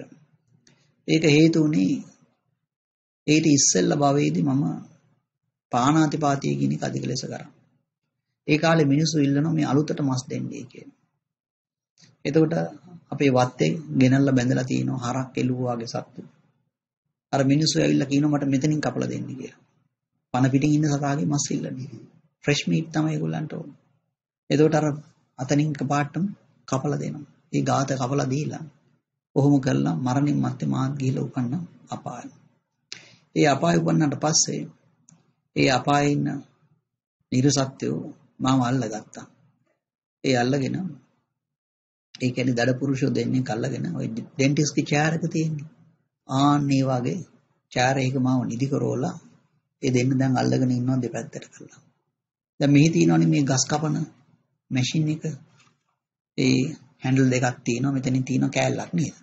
මේක ওই ගස් අතු හිම ප්‍රූන් කරන්න හිම ගන්න. එතකොට මේක කෑලි කීපයක් තියෙනවා. ඒකේ තිබුණ ක්ලිප් එකක් ඒක දැම්ම මගේ අතට. දාලා මේ ක්ලිප් එක ලොක් කළා. ලොක් කළා ඉවරලා ඒ කියන්නේ ස්ක්‍රූ පෑන් එකකින් ලොක් කරලා මේ ක්ලිප් එකේ තියෙනවා මේ හිල්. ඒ හිල් වලින් මගේ අතට බැස්සුවා ස්ක්‍රූ පෑන්. දැන් මස් ඇතුලේ ඒක තියෙනවා. ඊට පස්සේ අර හැන්ඩල් එක තද කරපු ගමන් මේක කැරකෙන්න පටන් ගත්තා. කැරකෙනවා කියන්නේ මේකේ මස් ටික ගලවගෙන කියන. මේකේ වේදනාව දරන්න බෑ. වේදනාව දරන්න බෑයි කියලා කියන්නේ මම මේක මේ හත් වෙනි ධානයට ගිහිල්ලා සිහි කළේ. මට තේරෙනවා මේ දෙන්න අල්ලගෙන ඉන්නවා මට මොකක්වත් කරන්න බෑ මගේ මේ කකුල් දෙක නම් බුරුලට තියෙන එක මගේ පැත්තට ඇදිලා එනවා ඊට පස්සේ මම කලන්තේ දාලා වැටෙනවා කියන එක මම දන්නවා. එතකොට ඒ විදිහට මේ කලන්තේ දාලා වැටුනහම ඒගොල්ලන් දඩුවම එදාට ඉවරයි. පහුදා ආයි අල්ලගත්තා. පහුදා ආයි අල්ලගෙන ඔය ඒ අපායේ තියෙන කිමිකල් එකක් ලෝදිය කියලා කියන්නේ. සල්ෆියුරික් ඇසිඩ් වගේ සර කිමිකල් එකක්. ඒ සල්ෆියුරික් ඇසිඩ් කියන එක මේ අතට එහෙම දැම්මොත් ඒක ඒ කියන්නේ වතුර හොයාගෙන යනවා. ඒතර මේ කිමිකල් එක අර ක්ලිප් එකේ ගාලා මගේ තුවාලේ තියෙන තැනට තියලා තද කරා. මේක දැන් පිච්චි පිච්චි යනවා. බලන්න සර්ජිකල් ස්පිරිට් ටිකක් දාන්න පුළුවන් තුවාලයකට අපිට. දැවිල්ලයි දනවනේ.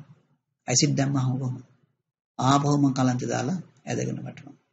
ඒ කලන්තේ දාලා ඇදගෙන වැටුණාට පස්සේ එදාට දඩුවම ඉවරයි පහුදා ආයෙ අල්ලගත්තා. අල්ලගෙන අර ඒ ක්ලිප්ස් අර මැෂින් එකේ ක්ලිප්ස් දෙකක් තියෙනවා. ඒ ක්ලිප්ස් දෙක තුවාලෙන් වම් පැත්තටයි දකුණු පැත්තටයි තියලා තද කරා. ස්ක්‍රූ පැන තියලා ලොක් කරා. ලොක් කරලා ඒගොල්ලෝ හැන්ඩල් එක තද කරාම මේ ක්ලිප් දෙක ඈත් වෙන්න ගත්තා. හරියට ග්ලව්ස් එක ගලවනවා වගේ අතේ මස් ටික ඒගොල්ලෝ ගැලෙව්වා. ඕකම නේද මම අර සත්‍යයට කළේ. පණ පිටින් ඉන්න සත්‍යයේ මස් ටික මම ගැලෙව්වා. එහෙමනම් මම ඒකට කැමතියි. එහෙමනම් මගේ විඥානේ ඒ වගේ තැන්වල තමයි ගිහිල්ලා ඉපදීම කියන එක සිද්ධ වෙන්නේ. දැන් ඊට පස්සේ ඒගොල්ලෝ කරේ මොකද්ද? මගේ දැන් අතේ මස් නැහැ. මම විතරක් නෙමෙයි තවත් කට්ටිය ඉන්නවා මේ වගේ දඩුවමකට සහභාගී සම්පිච්ච වෙච්ච අය. ඒතර මගේ වම් අත අනිත් පුද්ගලයාගේ දකුණු අත මේක කඹයකින් බැඳා. බැඳලා ඉවර වෙලා දැන් හිතන්න මෙතන මේසයක් තියෙනවා කියලා. ඒ මේ දෙන්න දෙපැත්තෙන් ඉන්නවා මේක මේ රේල් ට්‍රක් එකක් වගේ කරත්ත පාරක් වගේ මේ ගුඩින් කරත්තයක් වගේ එකක් යවුවා යවුවාම මේක කැඩලා ගියා. ඒ කැඩලා ගියායින් පස්සේ මගේ අත මෙතනින් නැහැ. දැන් උන්න මගේ දඩුවම් ඉවරයි. මම එතන යකඩ කෑල්ලක් හයි කරගෙන හිටියේ. දැන් මට ඒගොල්ලෝ රස්සාවක් දුන්නා. අපායේ තියෙන රස්සාව. ඕගලන්ට මෙහි රස්සාව එපා වෙලා නම් තියෙන්නේ අපාය කියලා රස්සාව කරන්න හිතන්නේ. ඒව මීට වඩා බොහොම දරුණුයි. මම කියන්නම් මම කරපු රස්සාව. මං කිව්වා ඔය පොළොව යට වුණාට ඔය බිල්ඩින්ග්ස් හිටන් තියෙනවා. එතකොට මම වැඩ කරේ තට්ටු තුනක බිල්ඩින් එකක යට තට්ටුවේ තමයි මම වැඩ කරේ. එතකොට ඒකේ යටම තට්ටුවේ මම හිටියේ ඒකේ තියෙනවා ඇසිඩ් තටාකයක්. මං ඉන්න තැන තියෙනවා චේන් එකක්. ඒ චේන් එකකින් කරන්නේ මොකද්ද? උඩම තට්ටුවේ තියෙනවා මෙහෙම ප්ලේට්ස් දෙකක්. ඒ ප්ලේට් දෙක උඩ මිනිස්සු එක්ක නංගලා ඉනවා ඒ නිර්සත්ත්‍ය එක්ක. දැන් මේ නිර්සත්ත්‍ය මේක උඩ ඉන්න දඟලනවා. ටිකක් වෙලා යනකොට මේ ප්ලේට් එක ඈත් වෙනවා. ඈත් වුණාට පස්සේ මොකද වෙන්නේ? එයා වැටෙනවා අර්ගිනි ජාලාව කියන එකට. එයා පිච්චෙනවා. පන පිටින් පුච්චනවා. ඊට පස්සේ ඊළඟ ප්ලේට් එක ඇරෙනවා. ඒ ප්ලේට් එක ඇරුණාම අර ගිනි ඇවිලලා තියෙන එක්කෙනාට හුලම් පාරක් මේ පිම්බිනවා. ඒකෙන් ඒ කියන්නේ හුලම් යන්නව පාත්ස් තියෙනවා ඇතුලේ. ඒක කල්ලා හදලා තියෙන මේක හුලම් පිම්මම අර බන්සන් බර්නර් එක වගේ හොඳට පිච්චෙනවා. ඊළඟට මම ඉන්න චේම්බර් එකට ඇරෙන්නේ උඩින් සීලිමෙන් ඇරෙනකොට අන්න ඇට විතරයි ඉතුරු වෙලා තියෙන්නේ.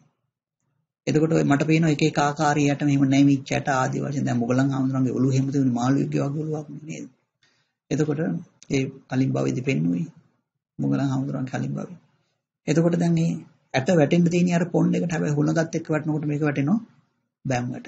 දැන් මගේ ජොබ් එක මොකද්ද? මල් ළඟ රේකයක් තියෙනවා අර ඇටේ අර ඇට ටික අරගෙන දාන්න ඕනේ පොන්ඩ් එක ඇතුළට. එතකොට ඒකක් දී වෙලා යනවා. දකුණු අත පැත්තට බලනකොට මට පේනවා පොලිමට අර වගේ පොන්ස් තියෙනවා. ඒ කියන්නේ මර මරා දාන්නව පුච්ච පුච්ච දාන්නව මැෂින්ස් තමයි දැන් ක්‍රියාත්මක වෙන්නේ කියලා. එතකොට ඔයගලන්ට පේනවා එහෙනම් අපාය කියන එක දුකයි. ඊළඟට අපි බලමු මේ තිරිසන් ලෝකේ. තිරිසන් ලෝකේ මේ තිරිසන් සත්‍යෝ ඔයගොල්ලෝ දන්නවා අවුවට පිච්චෙනවා වැස්සට තෙමෙනවා බඩගින්න පිපාසාව කියන ඒවා තියෙනවා කියලා. ඒක දී සත්‍යයේ දුක. ඊට වඩා විශාල දුකක් ඒ සත්‍යයට තියෙනවා. ඒ කියන්නේ දැන් බලන්න ඔය මීයක් ඉන්නවනම් පූසාව එකපාරටම ඒකව මරනවා. මරලා මරණ මොහොතේ එක පණ අදිනවා නේද? දඟලන පණ අදින වෙලාවේ අර ඒ ශරීරයත් එක්ක මීයා සෙල්ලනොත් කරනවා. මීයා ඉන්නේ එතකොට හරි බයයි. ඒ වගේම තමයි ඔයගොල්ලන් ගෙදර ඉන්න පූසා. ඒ පූසත් ඉන්නේ හරි බයයි. දැන් ඕගොල්ලන්ගේ ගෙදර ඉන්න පූසා පිටි මිනිස්සෙක් කෙනෙකුට ගිහිල්ලා කාර් එක යටට නිවිල ගන්නවා. ගෙදර ඉන්න බල්ලත් ඉන්නේ බයයි. නිදාගෙන හිටිය ඇස් දෙක ඇරියා බුක් ගාලා බොරනවා නේද? මේ තියා මේ ප්‍රොටෙක්ෂන් එක තියෙන සත්තු ගැන මේ කතා කරන්නේ. නිකන් හිතලා බලන්නකෝ මේ කැලෑවේ ඉන්න සත්වයෝ. දැන් අවුව තිනකොට වතුර එහෙම නැතුව දුක් විඳින හැටි. ඒ වගේම තමයි ඉතින් අනිත් සතික් කැල්ල එක පාටම මරා ගන්නවා. මරලා ගන්නවා. එතකොට ඔයගලන්ට පේනවා මේ තිරසන් ලෝකේ තියෙන දුක්ඛය ගත්තාම නිතරම මරණය, ඕෆන් කිලින්. ඒකයි බුදුහාමුදුරුවෝ දේශනා කරන්නේ. ඔක තේරුම් ගන්න නම් ඕගොල්ලෝ තේ ෂූ එක දාගෙන ඇවිදින්න ඕන. නැත්තම් එයා සතා මම මිනිස්සයා. ඕකනේ අපේ වැරද්ද නේද? මොකද අපි මැරලා තිරසං වෙනවා කියන කතාව කල්පනා කරන්නේ නේ. එතකොට මේ සත්තු මහ විශාල බයකින් ඉන්නේ. ඉතින් ඕක තේරුම් ගන්න ඕගොල්ලෝ ඒ ෂූ එක දාගෙන ඇවිදිනවා කියන්නේ. හිතන්න බලන්න ඕගොල්ලන්ගේ බස් එක වැරදිලා ලංකාවේ හරි මේ නියුයෝක් පැත්තේ හරි හිතන්නකෝ. රෑ 12ට විතර ඕගොල්ලෝ එනවා. මොකද වෙන්නේ? පයින් එනකොට පිටිපස්සේ මිනිස්සුන්ට ටොකස් ටොකස් ගාලා සද්දයක් දාගෙන එනවා. දැන් හිතන්නේ මොකද්ද? මෙයා මගේ පර්ස් එක ගනීද? එහෙම නැත්නම් මෙයා මගේ මාව මරයිද? මාව දූෂණය කරයිද කියලා බය තියෙනවා නේද? ආන්නේ බිය සහගතව තමයි මේ සත්‍යෝ හැමතිස්සෙම ඉන්නේ. ඒතර අපිට පේනවා අපාය දුකයි තිරසන් ලෝකේ දුක. ඊළඟට අපි බලමු പ്രേත ලෝකේ. പ്രേත ලෝකේ මම එක ප්‍රීතියක් ගැන කියන්නම්. මම දැක්කා මේ මේ සීලිමට වඩා තට්ටු දෙකේ ගෙදරකට වඩා එයා උසයි. එයාගේ මූණ කාන්තාවගේ මූණ ප්‍රමාණයට තියෙන්නේ. එයාගේ බඩ මීටර එකහමාරක් විතර පළලයි. අන්න පොඩි කටක් මේ තාමත්ම විශාල වූ බඩක්. මේකට පුරවන්න පුළුවන්ද? ඔයගේ කටකින් බෑ නේද? එතකොට හරි උසයි. ඉතින් හිමීම තමයි යන්නේ. මොනවද ඒගොල්ලන්ට මේ ආහාර හැටියට තියෙන්නේ? මේ ආහාර හැටියට තියෙන ඕගොල්ලෝ අනුමෝදන් කරන පින්.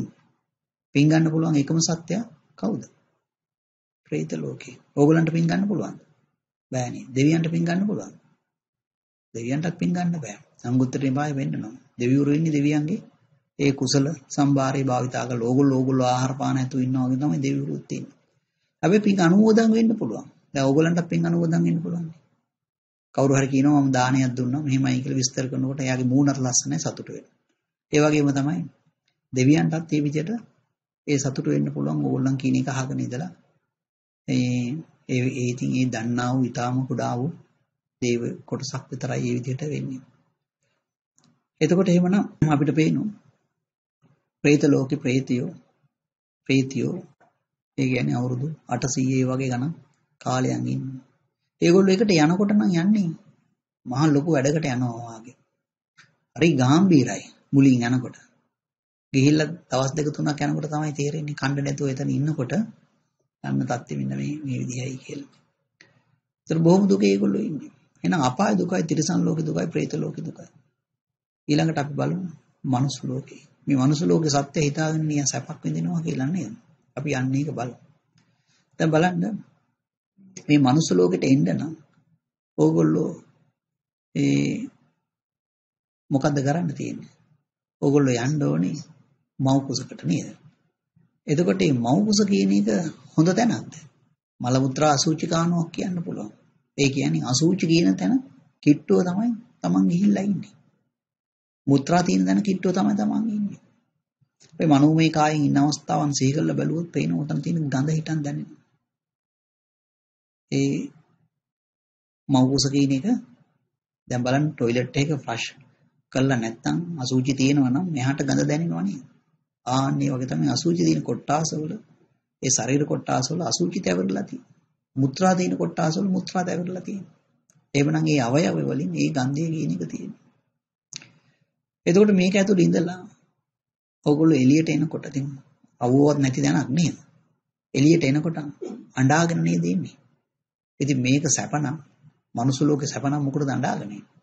ඇඬුවේ නැත්නම් තවත් ප්‍රශ්නයක් තියෙනවා. අඬාගෙන આવොත් තමයි යන්තම් හරි පුළුවන්කම කියන එක තියෙන්නේ. ඊළඟට අපිට පේනවා ඔය එළියට එනකොටම ඉතින් මනුස්සු ජරාව ගාගෙන ඉන්නේ නේද? ඒක අම්මා කෙනෙක් මාත් එක්ක කියනවා. ප්‍රඥාවන්ත අම්මා කෙනෙක්. දරුවා ප්‍රසූත කළාට පස්සේ කල්පනා කළා මොන ජරාවක්ද මම ප්‍රසූත කළා තියෙන්නේ කියලා. එතකොට මේ ළමින්ට ආදරේ අම්මා කෙනෙක්. නර්ස් අතට දුන්නාම කිව්වලු හොදලා දෙන්නේ කියලා. හොදලා දුන්නාට පස්සේ ඉතින් ඕගලන්ට හිතේවි අනේ දැන් නම් හරි කියලා. නමුත් මේ අසුචි කියනව කොහෙද තියෙන්නේ? අපේ ශරීරයේ ඇතුලේ. කොච්චර පිටින් හේතුවත් ඕක හරියන්නේ නැහැ. අපි හරියට ඇවිදින টয়ලට් එකක් වගේ. අපි කොතනකට හරි යනකොට අපි අසුචි මල මුත්‍රා අරගෙනයි තමයි ඒ ඒ තැන් වලට අපි යනවා කියන එක තියෙන්නේ. එතකොට දැන් පෙලක් අය ඉපදෙනකොට මැරෙනවා. පෙලක් අයට ජෝන්ඩිස් වගේ අසනීපයන් තියෙනවා. ඉතින් අපි හිතමු ජීවත් වෙන්න හම්බුණා කියලා. දැන් බඩගිනි අඬනවා. අම්මා කිරි ටික දෙනවා නම් හොඳයි නැත්නම් ඒත් දුවයි. ඊළඟට ආපහු ගත්තාම මුත්‍රා පිට කරනවා අසුචි පිට කරනවා අඬනවා. ඔය ඇඟේ තැවිරි තැවිරි තියෙන්නේ. ඉතින් අම්මා සුද්ධ කරනවා නම් හොඳයි නැත්නම් ඒත් දුකයි. දැන් ඉතින් අවුරුදු 4ක් විතර ජීවත් වෙන්න හම්බ වුණා නම් අම්මා එල්ලනවා බෑග් එකක් අරගෙන නේද? දැන් පුතා යන්න දුව යන්න ඉස්කෝලේ කියලා. ඉතින් පාසල් ගියයින් පස්සේ දැන් ඕගොල්ලෝ යන්නේ පාසලට හරි කැමැත්තෙන්ද? ආ අම්මේ මං යන්නම් අම්මා ඉන්න කියලාද යන්නේ? නෑ නේ. අඬනවා නේද? අම්මා තින්ඩේ කියන පන්තියේ. මොකද විඥානීය දන්නෝ. මොකද අතීතයේදී ඔය කරාම උනේ. මිනිස්සු ගල් කූරු වලින් ඇඳලාමයි නේද? පැන්සල් වලින් ඇන්න. ආදී වශයෙන් විඥාන ධාරාව තුල මේක තියෙනවා.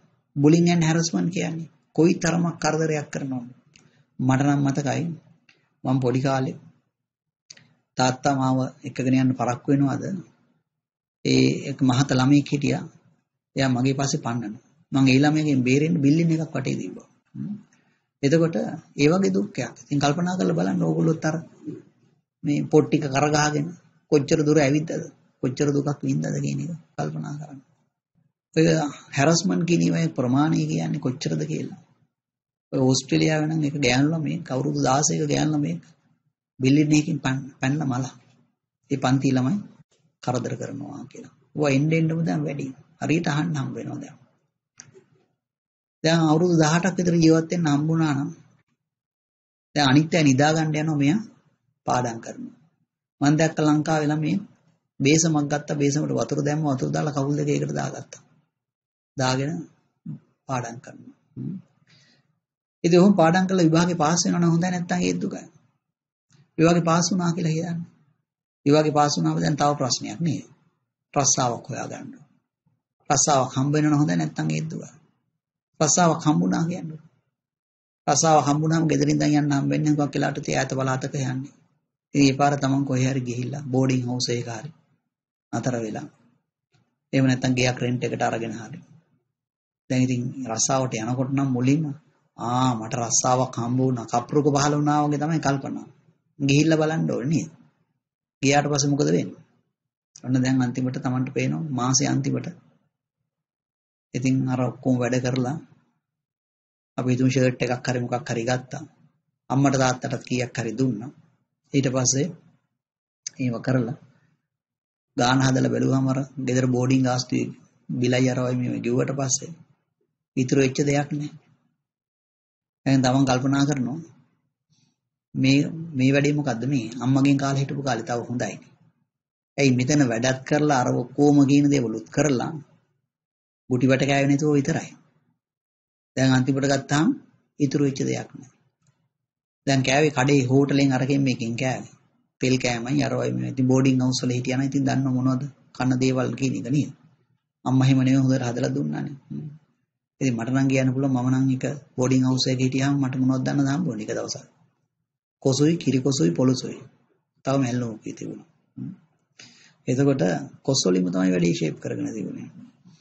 එතකොට දැන් දැන් නම් හැබැයි ලංකාවේ කියන්න පුළුවන් ඉතින් හොඳම කෑමක් කියලා. මොකද මේ වසවිස නැති කෑම බේත් ගහන්න නැති උච්චරයි කියනවා. එතකොට දැන් ඔහොම දුක් විඳලා දැන් ඉතින් කල්පනා කරනවා මම ටිකක් වැඩිපුර මුදලක් උපයා ගන්නවා කියලා. තමන් හොඳ රස්සාවකට එක්ක යනවා එහෙම නැත්නම් ඉතින් හොඳට ඉගෙන ගන්න. ඉගෙනගෙන හොඳ රස්සාවක් කරනවා. දැන් ඉතින් පඩිය වැඩියෙන් හම්බ වෙනවා. දැන් මොකද වෙන්නේ? දැන් තවත් ප්‍රශ්නයක්. මොකද මේ ප්‍රශ්නේ? දැන් බයයි හොරු ගනීද කියලා. දැන් සල්ලි තැන් තැන් වල හංගන්නයි වෙන්නේ නේද? ඒව නැත්තම් ටැක්ස් මෑන් ගනීද කියලා ඒ බයයි. හංගන්න නැතු බැංකුවට දැම්මම ඉතින් ටැක්ස් මෑන් උත් දන්නවනේ මේක මෙහෙමයි කියලා. එතකොට දැන් ඉතින් අපි ඔක සිකියුරිටි දා ගන්නවා. ඔය ADT සිකියුරිටි ආදී වශයෙන් ඒ සිකියුරිටි කියන ඒවා ඒ දමා ගැනීම කියන එක තියෙනවා. ටැක්ස් කන්සල්ටන්ට් පස්සේ යනවා ඒක අඩු කරගන්නයි කියලා. ඉතින් දැන් තාමත් ප්‍රශ්නේ නම් ඉවර නැහැ.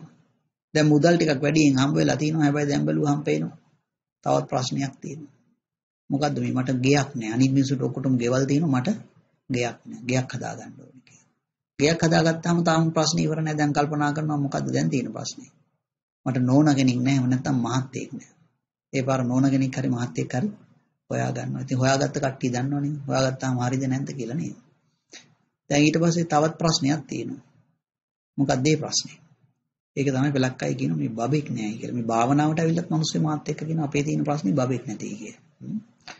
සංසාරේ කෙලවර කරගන්නයි ආවේ. හැබැයි දැන් කියන්නේ බබෙක් නැහැ කියලා. ඉතින් ඒ පාර ඉන්ජෙක්ෂන් එකක් ගහගෙන හරි බබෙක් හදා ගන්න. බබෙක් හදාගත්තට පස්සේ ඉතින් දැන් හරිද? නිදා ගන්නත් නැහැ නේද? චරාස් ගන්නවා, බරාස් ගන්නවා.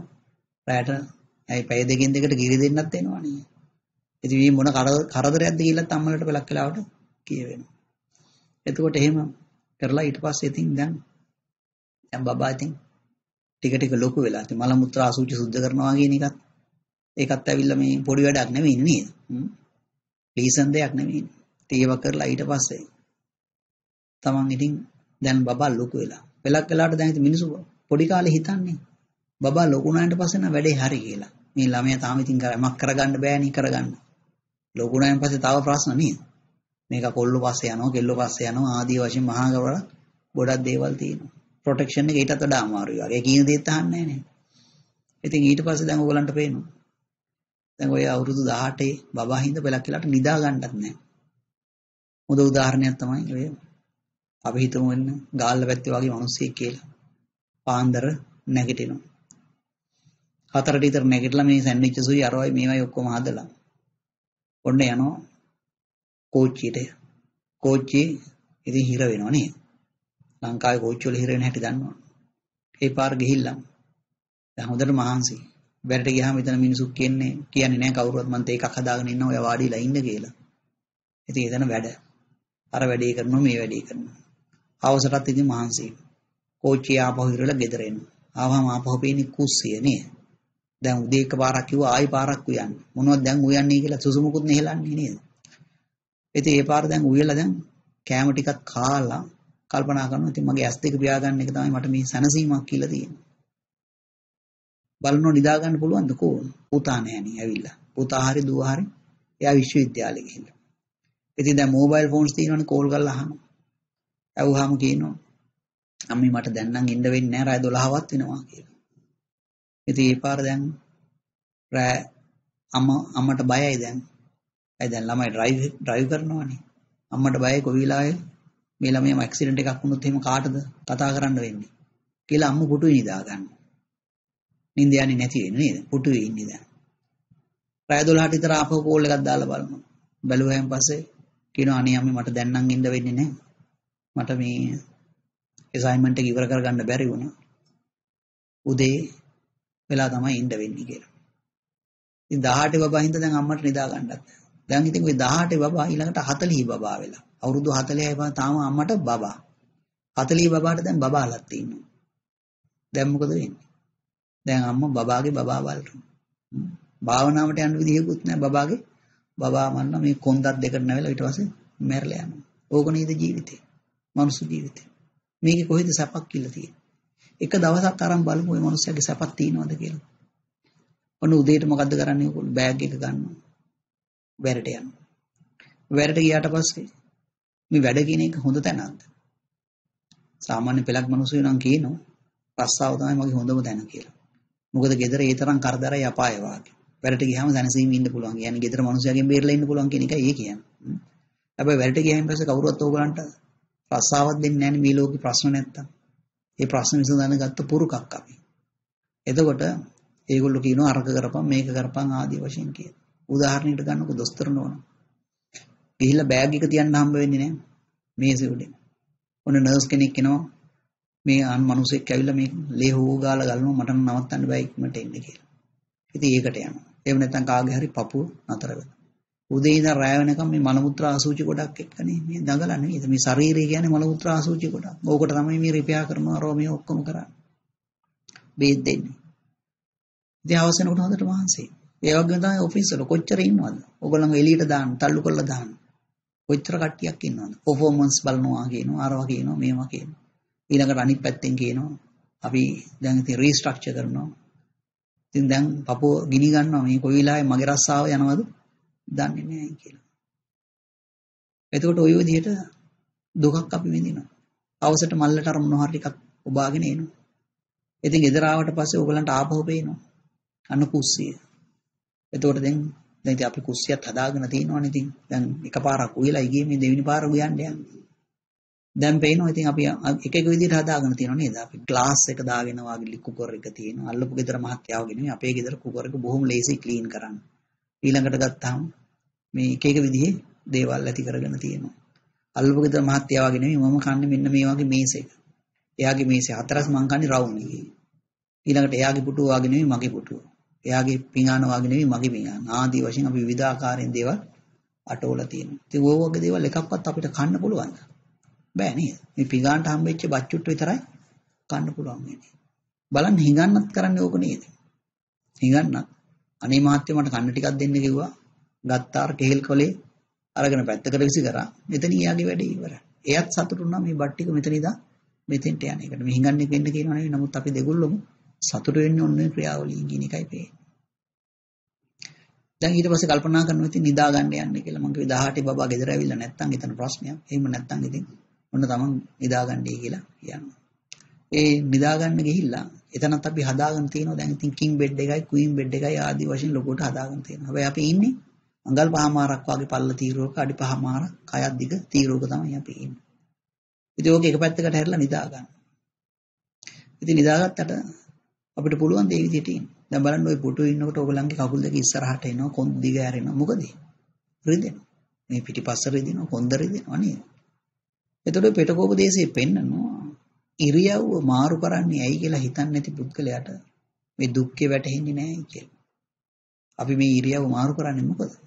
දුක නිසා. අපි ඉඳගෙන ඉන්නකොට අමාරුයි අපි හිට ගන්න. ඇවිද්දාම අමාරුයි අපි ඉඳ ගන්නවා. මේ දේවල් අපි මේ කරන්නේ දුක්ඛේ නිසා. ඒතර මිනිස්සු හිතනවා ඕක නිකන් මේ මෙහෙම තමයි ජීවිතය කියලා. නමුත් ඕක දුක්ඛේ නිසා අපි ඕක කරන්නේ. ඉතින් දැන් ওই නයිට් මෙයා එකක් එහෙම දැක්කනම් Tamanට ඉතින් තවත් ප්‍රශ්නයක් එහෙම නැත්නම් ඉතින් අපි හිතමු උදේ එනකොට මේ කබ අරව මේව ගලලා ඉතින් මේව සුද්ධ කරගන්නයි කියලා එහෙන් යනවා. දැන් ඉතින් টয়ලට් එකට යනකොට පළක් මිනිස්සු මම දැකලා තියෙනවා මැගසින් එකක් අරන් යනවා. මොකද ඒ වැඩේත් බොහොම අමාරුයි. ඉතින් ඕක වැඩේ තියෙන්නේ. ඔය මිනිස්සෙකුට වයසට ගියාම එක්ක බඩ වේලනවා එක්ක බඩ බුරුලනවා. එක්ක ඇඳීම් පිට වෙනවා. එහෙම නැත්නම් කන්ස්ටිපේෂන් නැති වෙලා එතන මේ ප්‍රශ්න. ඉතින් ඕකට විසඳුම් තියෙනවා තමයි. නමුත් ඒවා භාවිතා කරන්න බෑ නේද? ඒ විසඳුම නැති වෙච්ච ගමන් වැඩේ ඉවරයි. ඉතින් බල්ලෙකුට එහෙම ඔය අමාරුව හැදුනා නම් ඒ සතා මැරෙනවා කියන එක තියෙනවා. බඩ වේලීම කියන එක. එතකොට ඔය වාගේ දුකක් අපි විඳිනවා. ඉතින් මේකේ කොහෙද සැපක් කියලා තියෙන්නේ? දැන් බලන්න උදේට ඕක සුද්ධ කරගෙන ආපහු අපි ආපහු වැඩට යනවා. මල්ලා ගත්ත වැඩට ගියා. එකම කතාව නේද? සැපේ හැටියට තියෙන්නේ මොකක්ද? මෙතන ඉඳන් මෙතෙන්ට ආහාර ගත්තා කියන එකයි. කෙනෙකුට හිතෙන්න පුළුවන් මේක නෙමෙයිනේ සැප. මේ වෙන දෙයක් නේ සැප. මම මේක නෙමෙයිනේ. නමුත් ඕක තමයි ඕගොල්ලන්ගේ ලොකුම සැප. ඕක ඕනම ලෝකයකට සාධාරණයි ෆ්ලේවර්ස් එක ඇති වෙන්නා වූ ස්වභාවය කියන එක. අපි හිතුවේ නෑ මේක ගැන. මේ ආහාරයෙන් තමයි අපේ මේ සුඛය කියන එක අපි ඇති වෙන්නේ. ඕක තේරෙන ඕක නැත්තම්. දැන් හිතමු අපි මිනිස්සෙක් කියනවා මම ඔයාට රස්සාවක් දෙනවා බිලියන් එකක් පඩිත් දෙනවා ඕනම සුඛයක් ඔයාට දෙනවා හැබැයි ආහාර නම් මේ ලෝකේ නෑ. කණ්ඩ කිසි දෙයක් නෑ. ඕගොල්ලෝ පලාතටවත් යනවද කියලා හිතන්න බලන්න. බිලියන් එකක් දෙනවා කිව්වත් යනවද ඕගොල්ලෝ ඒ වැඩට? යන්නේ නෑ. ආහාර නැත්තම් මේක ඉවරයි. ඕකෙන් තමයි ඕගොල්ලන්ගේ සුඛය කියන එක සම්පූර්ණයෙන් තියෙන්නේ. එතකොට දැන් බලන්න මිනිත්තු 10යි නේද ඕක. මෙතන ඉඳන් මෙතෙන්ට මිනිත්තු 10යි. උගුරෙන් පල්ලහැට ගියාද ඉතින් පස්සේ රසයක් නැහැ. ওই මිනිත්තු 10ට පැය කීයක් වැඩ කරා? උදේ 4 නැගිට්ටා පැය දෙකක් කෝච්චිය ගියා පැය ආපහු පැය 8ක් වැඩ කරා ආපහු පැය දෙකක් වැඩ කරා. ওই විදිහට ගත්තාම පැය 10ක් 12ක් වැඩ කරලා තිනවා මිනිත්තු 10යි වැඩේට. මේක ප්‍රොපෝෂනල් නැහැ කියන එක පේනවා. එහෙනම් මනුස්ස ලෝකේ දුක. දැන් එහෙනම් අපිට පේනවා අපාය දුකයි, තිරිසන් ලෝකේ දුකයි, പ്രേත ලෝකේ දුකයි, මනුස්ස ලෝකේ දුකයි. ඊළඟට බලමු අපි දිවි ලෝකේ කියන්නේ. දිවි ලෝකවල කොහෙද තියෙන්නේ? දිවි ලෝකවල තියෙන අපේ තියෙනවා සවුත් පෝල් එක. ඒ වගේ අපේ තියෙනවා නෝත් පෝල් එක. සවුත් පෝල් එකේ ඉඳන් නෝත් පෝල් එකට ඇක්සිස් එකක් තියෙනවා. උන් ওই ඇක්සිස් එක දිගට දික් කරොත් දකුණු අත පැත්තට ආකාශයට ගියහම චතුර්මහා රාජිකේ තවුන් දිනසාව යාමී තුසිත ওই විදිහට ස්පයිරල් ෂේප් එකකට තියෙන. ওই ඇක්සිස් එක තව දිගට ඈතට ගියහම තමයි ඔය අකනිට රාම ලෝකේ වාගේ ලෝකයන් කිනීම තියෙනවා. එතකොට ওই දිව්‍ය ලෝකයේ කියන එකේ ගත්තාම බුදුහාමුදුරුවෝ පෙන්නනවා ඔගොල්ලෝ අහලා ඇති සුරාසුර සංග්‍රහමය කියලා එකක් තිබුණා. ඒ කියන්නේ යුද්ධයක්. ඉතින් යුද්ධයක් තිබුණම දුකයි කියන එක පේනව නේද?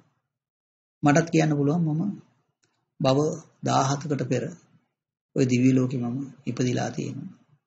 ඒ දිව්‍ය ලෝකෙ ඉපදිච්ච කාලේ තරුණ කාලේ මම මත්පැන් පානය කළා. ලංකාවේ තියෙන අශෝකමල් බැරල් එකක් ගේනවා බැරල් එකට වතුර භාගයක් පුරවනවා අශෝකමල් ඉතුරු භාගය පුරවනවා ඊට පස්සේ ලිඩ් එක වහලා තියෙනවා. පහුවදා උදේට ලිඩ් එක ඇරියා ඔළුව ඇල්ලුවා. අර ආග්‍රහණී කියන එක Tamanට වැදෙනවා. ඒකෙන් දෙවිවරුන්ට මත් වෙන්න පුළුවන්. මිනිසයන්ට නම් බෑ. ඉතින් ඔය දිව්‍ය ලෝකේ සැප නම් මම මොකටද ඔය විදිහට කරන්නේ? අපි බලමු දිව්‍ය ලෝකේ සමානකමයි දිව්‍ය ලෝකේ වෙනසයි කියන එක. මනුස්ස ලෝකෙත් එක්ක. මේ ගෙවල් දොරවල් තියෙනවා. දිව්‍ය ලෝකෙත් ගෙවල් දොරවල් තියෙනවා තියෙනවා. යාන වාහනයන් තියෙනවා තියෙනවා හේත. මේ පාරවල් තියෙනවා හේත් පාරවල් තියෙනවා. දිව්‍ය ලෝකේ වාහන වර්ග තුනක් තියෙනවා. ඔය දිබ්බ යාන, දිබ්බ කුටි, දිබ්බ ගුහා කියලා වාහනයන් තියෙනවා. ඒ දිබ්බ යානී කියලා කිව්වහම ඕගොල්ලන්ගේ කාර් එක වාගේ. දිබ්බ කුටිය කියලා කිව්වහම බස් එක තියෙන්නේ අපේ. අන්න ඒ වගේ කාමරේ ඉන්න කට්ටියම යන්න පුළුවන්. දිබ්බ ගුහා කියලා කිව්වහම ඒක නිකන් හරියට ස්පේස්ෂිප් එක වාගේ. ඒ ගෙදරම යන්න පුළුවන්. එතකොට මිනිස්සු හරියට රැවටෙනව නේද මේ ස්පේස්ෂිප්ස් එනවා කියලා. මිනිස්සු හිතන්නේ ඒලියන්ස්ලා කියලා. ඒලියන්ස්ලා කියලා කිව්වට මේ මනුස්ස ලෝකේ මේ මිනිස්සු තව මනුස්ස ලෝක තියෙනවා. හැබැයි මේ මනුස්ස ලෝකේ මිනිස්සු තමයි දිනු කට්ටිය. අනිත් කට්ටිය තාම මෙච්චර දිනු නැහැ. ඒගොල්ලෝ ඉන්නේ ඩයිනෝසෝර් ඉරා එකේ. ඒ වගේ විශාල සත්තු බර්ඩ්ස්ලා වගේ අය ඉඳගෙන ඒගොල්ලන්ව කනවා මරනවා කියන එක තියෙනවා. එතකොට ඔය ස්පේස්ෂිප්ස් හැටියට එන්නේ දිවි ලෝකේ ඉන්න දෙවියන්ගේ වාහන. ඒගොල්ලෝ නෝත් එකේ ඉඳන් මේ සවුත් එකට ට්‍රිප් එකක් යනවා. ඒ යනකොට තමයි ඔය ෆොටෝ එහෙම අරගෙන තියෙන ඔය චීනී ෆොටෝ එකක් එහෙම අරගෙන තියෙන්නේ. මෙහි රස්සාවල් තියෙනවා, මෙහි රස්සාවල් තියෙනවා. මෙහි ඊර්ෂ්‍යාව තියෙනවා, මෙහි තීර්ෂ්‍යාව තියෙනවා. මෙහි කතුරුොන්චිල්ලා තියෙනවා, මෙහි කතුරුොන්චිල්ලා තියෙනවා. ඒ මොකක්ද එහෙනම් වෙනස? වෙනස තමයි මේ ලෝකේ මිනිස්සු ජීවත් වෙන්නේ අවුරුදු 80ක් විතර. පළවෙනි දිව්‍ය ලෝකේ ආයුෂ මිලියන 10යි. මනුස්ස ලෝකේ ආයුෂ. ඊළඟ දිව්‍ය ලෝකයේ ආයුෂ මිලියන 36යි. ඒක ওই විදිහට වැඩි වෙලා වැඩි වෙලා ගිහිල්ලා ඊළඟට අන්තිම දිව්‍ය ලෝකේ ගත්තාම ආයුෂ බිලියන 8යි. 8 බිලියන්. විශාල කාලයක් ජීවත් වෙනවා. අන්න ඒක නිසා තමයි සැප. ඕගොල්ලෝ මෙරි මෙරි යනවා අරයා මැරෙන්නේ නැතුව ඉන්න. ඒතර එහෙනම් අපිට පේනවා මේ මෙහි මොඩල් එකේ දිහාට බැලුවහම ඒක වගේම තමයි අරහෙත් ගත්තාම ඒ දුක්ඛය කියන එක එතන තියෙනවා. එහෙනම් අපාය දුකයි, තිරිසන් ලෝකේ දුකයි, പ്രേත ලෝකේ දුකයි, මනුස්ස ලෝකේ දුකයි, දිව්‍ය ලෝකේ දුකයි. ඊළඟට බලමු බ්‍රහ්ම ලෝකේ. බ්‍රහ්ම ලෝකේ පෙන්නනවා ඔය ප්‍රීති බක්කා භවිස්සති කියලා ဒုတိ ය ධානය තලයේ. ඒ කියන්නේ මොකද්ද? දෙවෙනි තලයේ පෙන්නනවා මේ ප්‍රීතිය අනුභව කරලයි ජීවත් වෙන්නේ කියලා. එතකොට ප්‍රීතිය නැති වුණා නම් ඒගොල්ලෝ හරියට කෑවේ නෑ වාගේ. ඒ කියන්නේ වේදනාව වෙනස් වෙනකොට ඒගොල්ලන්ගේ දුක්ඛය කියන එක තියෙනවා. එතකොට එහෙමනම් මුළු ලෝකවල ගත්තොත් අපාය, තිරිසන් ලෝකේ, പ്രേත ලෝකේ, මනුස්ස ලෝකේ, දිව්‍ය ලෝකේ, බ්‍රහ්ම ලෝකේ. ලෝකේ ඔක්කොම අපි හයක් බැලුවා හයෙම අපිට පේනවා දුකයි කියලා. එහෙමනම් ඕගොල්ලන්ගේ S2 වහලා හරි S2 ඇරලා හරි කල්පනා කරන්න පුළුවන්ද? මම මෙන්න මේ අහවල් තැන ඉපදෙනවා මට දුකක් නැtei කියලා. එහෙම තැනක් නැහැ. කිසිම තැනක් නැහැ මේ දුක්ඛය කියන එක නැති එක. ඔක තමයි මේ ජාතිපි දුක්ඛා කියලා කියන්නේ. ඒ තරම් දුකක් මේකේ තියෙනවා. ඊළඟට බුදුහාම තාමත් ಜಾති ඉවර නැහැ. ඒක තමයි ලොකුම දුක්ඛය. ස්කන්ධානම් පාතු භාව. ආයතනානම් පටිලා. ආයතනී කියලා කිව්වහම ඇහැ කන නාසය දිව ශරීරයේ මනස. මේ ලැබීම දුකයි කියන එක බුදුහාමුදුරුවෝ දේශනා කරනවා. ඉතින් මට නම් ඕක එකපාරටම තේරුන්නේ නැහැ. ඇයි මේක දුක කියලා. එක දවසක් මට ආරංචි වුණා. ඒක හාමුදුරුවෝ ඇස් පේන්නේ නැතුව ගියා කියලා. හාමුදුරුවෝ වයසට ගිහිල්ලා නෙමෙයි.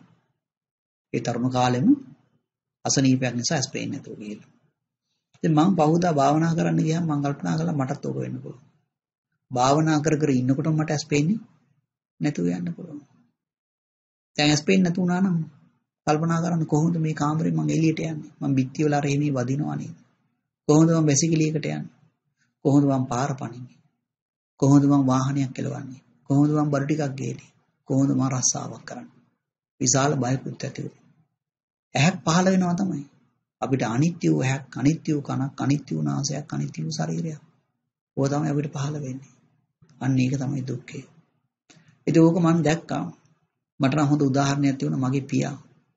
අවුරුදු 82ක් වෙනකොට ඇස් පේන්නේ නේ. යන්තම් ඡායාවක් පේන්නේ. කන ඇහෙන්නේ නේ. හයියෙන් කතා කළොත් යන්තම් වචනයක් ඇහෙන්නේ. නාසයට ගඳක් සුවඳක් නැහැ. ඔය කාලට මුත්‍රා ආසූචි ඇඳීම් පිට වෙනවා. කවුරු හරි දැකලා අයිස් කරොත් ඇරෙන්න එයා දන්නේ නැහැ. ඊළඟට ගත්තාම මේ දිවට රසකුත් නැහැ. වතුරවත් බොන්නේ නැතුව ගියා. ඊළඟට කයට ස්පර්ශයක් දැනෙන්නේ නැහැ.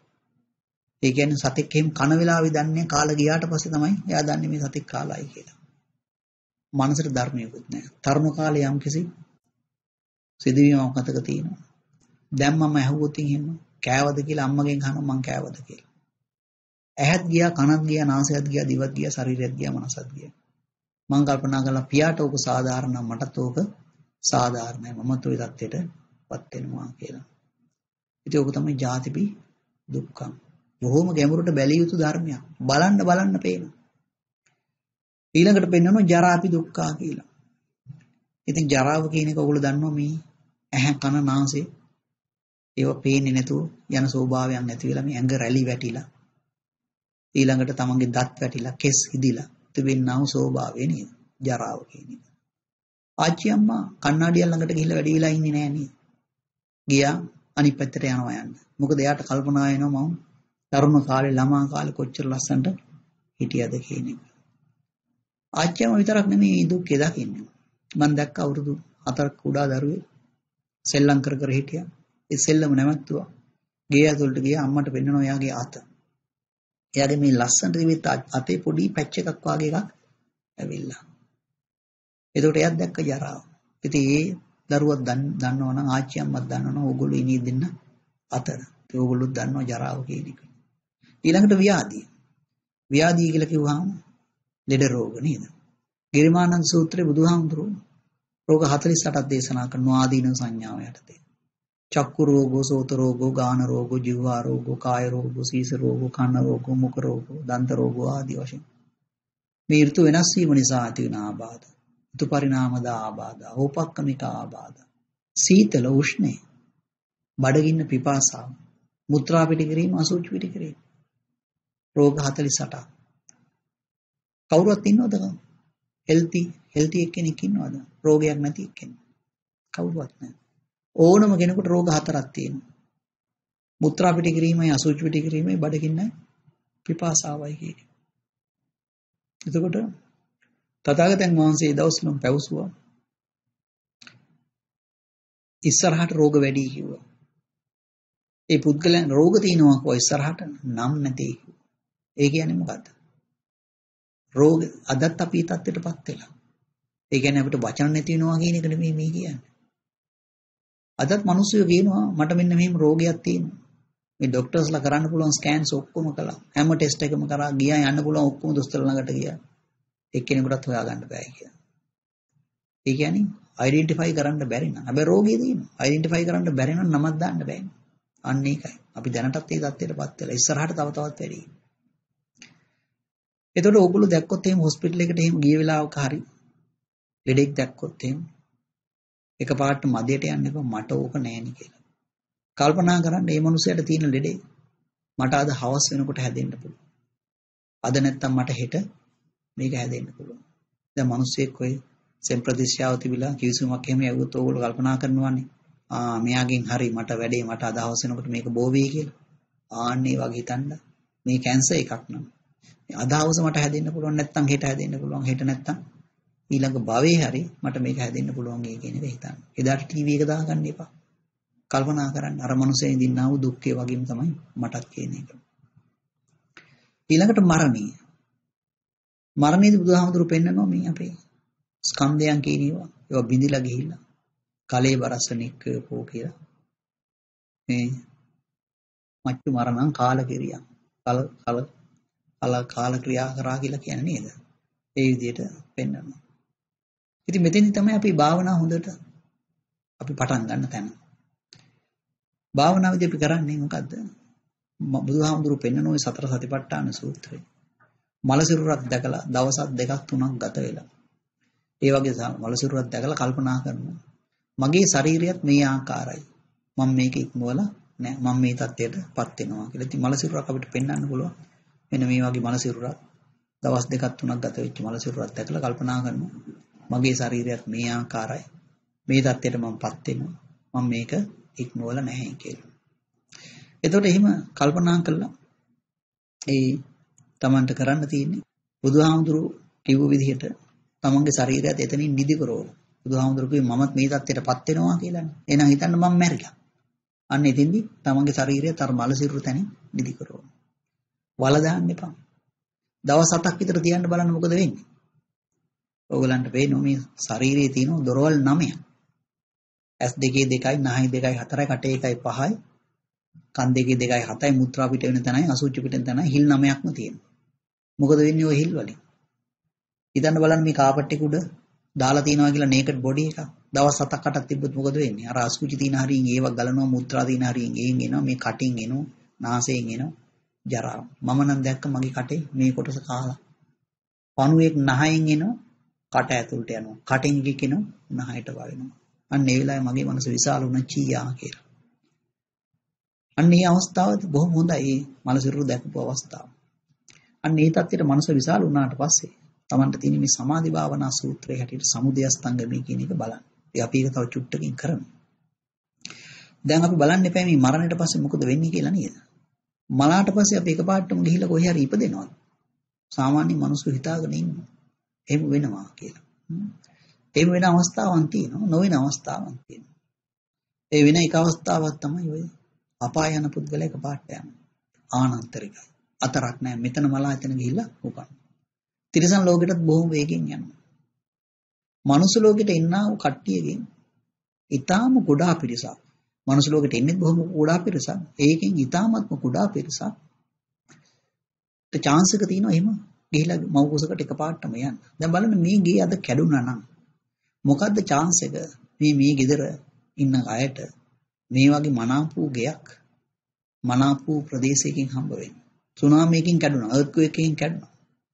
සාමාන්‍ය පාරට වැටෙන එක නෙවෙයි. මොකද්ද chance එක? බින්දුවයි කියන්න පුළුවන්. හැබැයි පෙලක් වෙලාවට ඉන්නවා. ඔය රජවරු වාගේ අය.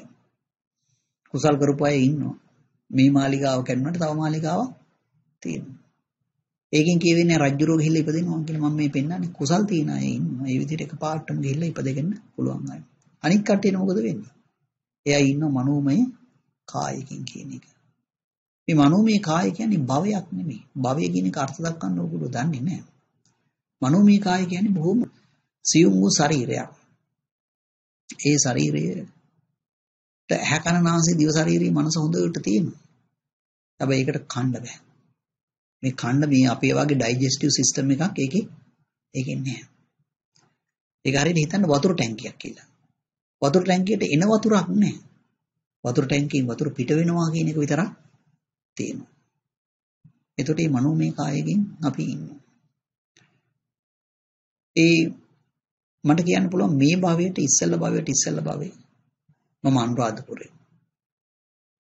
ඒ අනුරාධපුරේ මට පේනවා දවසක මගේ මම මුණින් අතට වැටිලා. එතකොට මගේ පිටිපස්ස හරිය මට පේනවා. ඒ කියන්නේ මම උඩ මනෝ මේ කායේ ඉඳන් මේ ශරීරය දිහා බලාගෙන ඉන්නවා. දැන් බලන්න මගේ ප්‍රශ්නේ මොකද්ද මේ වෙලාවේ? ඇයි මේක නැගිටින්නේ නැත්තේ කියලා. මේ ශරීරයේ ඇයි නැගිටින්නේ නැත්තේ කියලා. ටිකක් වෙලා යනකොට ඔන්න පේනවා. මිනිස්සු ඇවිල්ලා මේ ශරීරය උස්ස ගන්නවා. කට්ටියක් අඬනවා. ආන්න එතකොට තමයි දන්නේ මැරිලා කියලා. මලාම ඕගොල්ලෝ දන්නේ නැහැ මලාද කියලාවත්. කන්ෆියුස් වෙලා තියෙන්නේ. දැන් බලන්න ඕගොල්ලෝ මෙතෙන්ට එනකොට ගෙදර ආයට කිව්වේ මොකද්ද? මම මේ වැඩසටහනට ගිහිල්ලා එන්නම් කියලා. දන්නවද ඕගොල්ලන්ට යන්න පුළුවන් ඒද කියලා? මෙතන භාවනා කරනකොට මැරලා වැටෙන්න පුළුවන් අර පාරේ වාහනයක හැප්පිලා මැරලා වැටෙන්න පුළුවන්. නමුත් අපේ විශ්වාසය තියෙන්නේ අපිට යන්න පුළුවන් මේක. ඒ වගේ තමයි මම දකුණු කකුල තියෙනකොට මං හිතනවා වම් කකුල තියාගන්න බැරි වෙයි කියලා. මං හිතන්නේ වම් කකුල තියන්න පුළුවන් කියලා. දකුණු කකුල තිබ්බ වම් කකුල තියන්න ඉස්සෙල්ලා මැරලා වැටලත් ඉවරයි. ඉතින් මේ මලසිරුර ගෙදරට ගෙනිච්චට පස්සේ මේ එනවා. අවුරුදු 15ක විතර දරුවෙක් හිටියා. එයා වැට අද්දරට ඇවිල්ලා බොහොම දුකේ ඉන්නවා කියලා මම දකින්න. ගෙදරට මිනිස්සු එනවා අඬනවා යනවා ආදි වශයෙන් පේනවා. හවස් වෙනකොට පේනවා මේගොල්ලෝ නෙමෙයි දුකේ ඉන්නේ. කවුද දුකේ ඉන්නේ? මම. අරගොල්ලෝ හවස් වෙනකොට කනවා මට කන්න බෑ. මනෝමය කාය කියන එකට කන්න පුළුවන් කමක් නැත්තේ නේ. මං කිව්ව වතුර ටැංකියක් වගේ කියලා. ඒකේ තියෙන ටික යනවා විතරයි. ආපහු එන දෙයක් නෑ.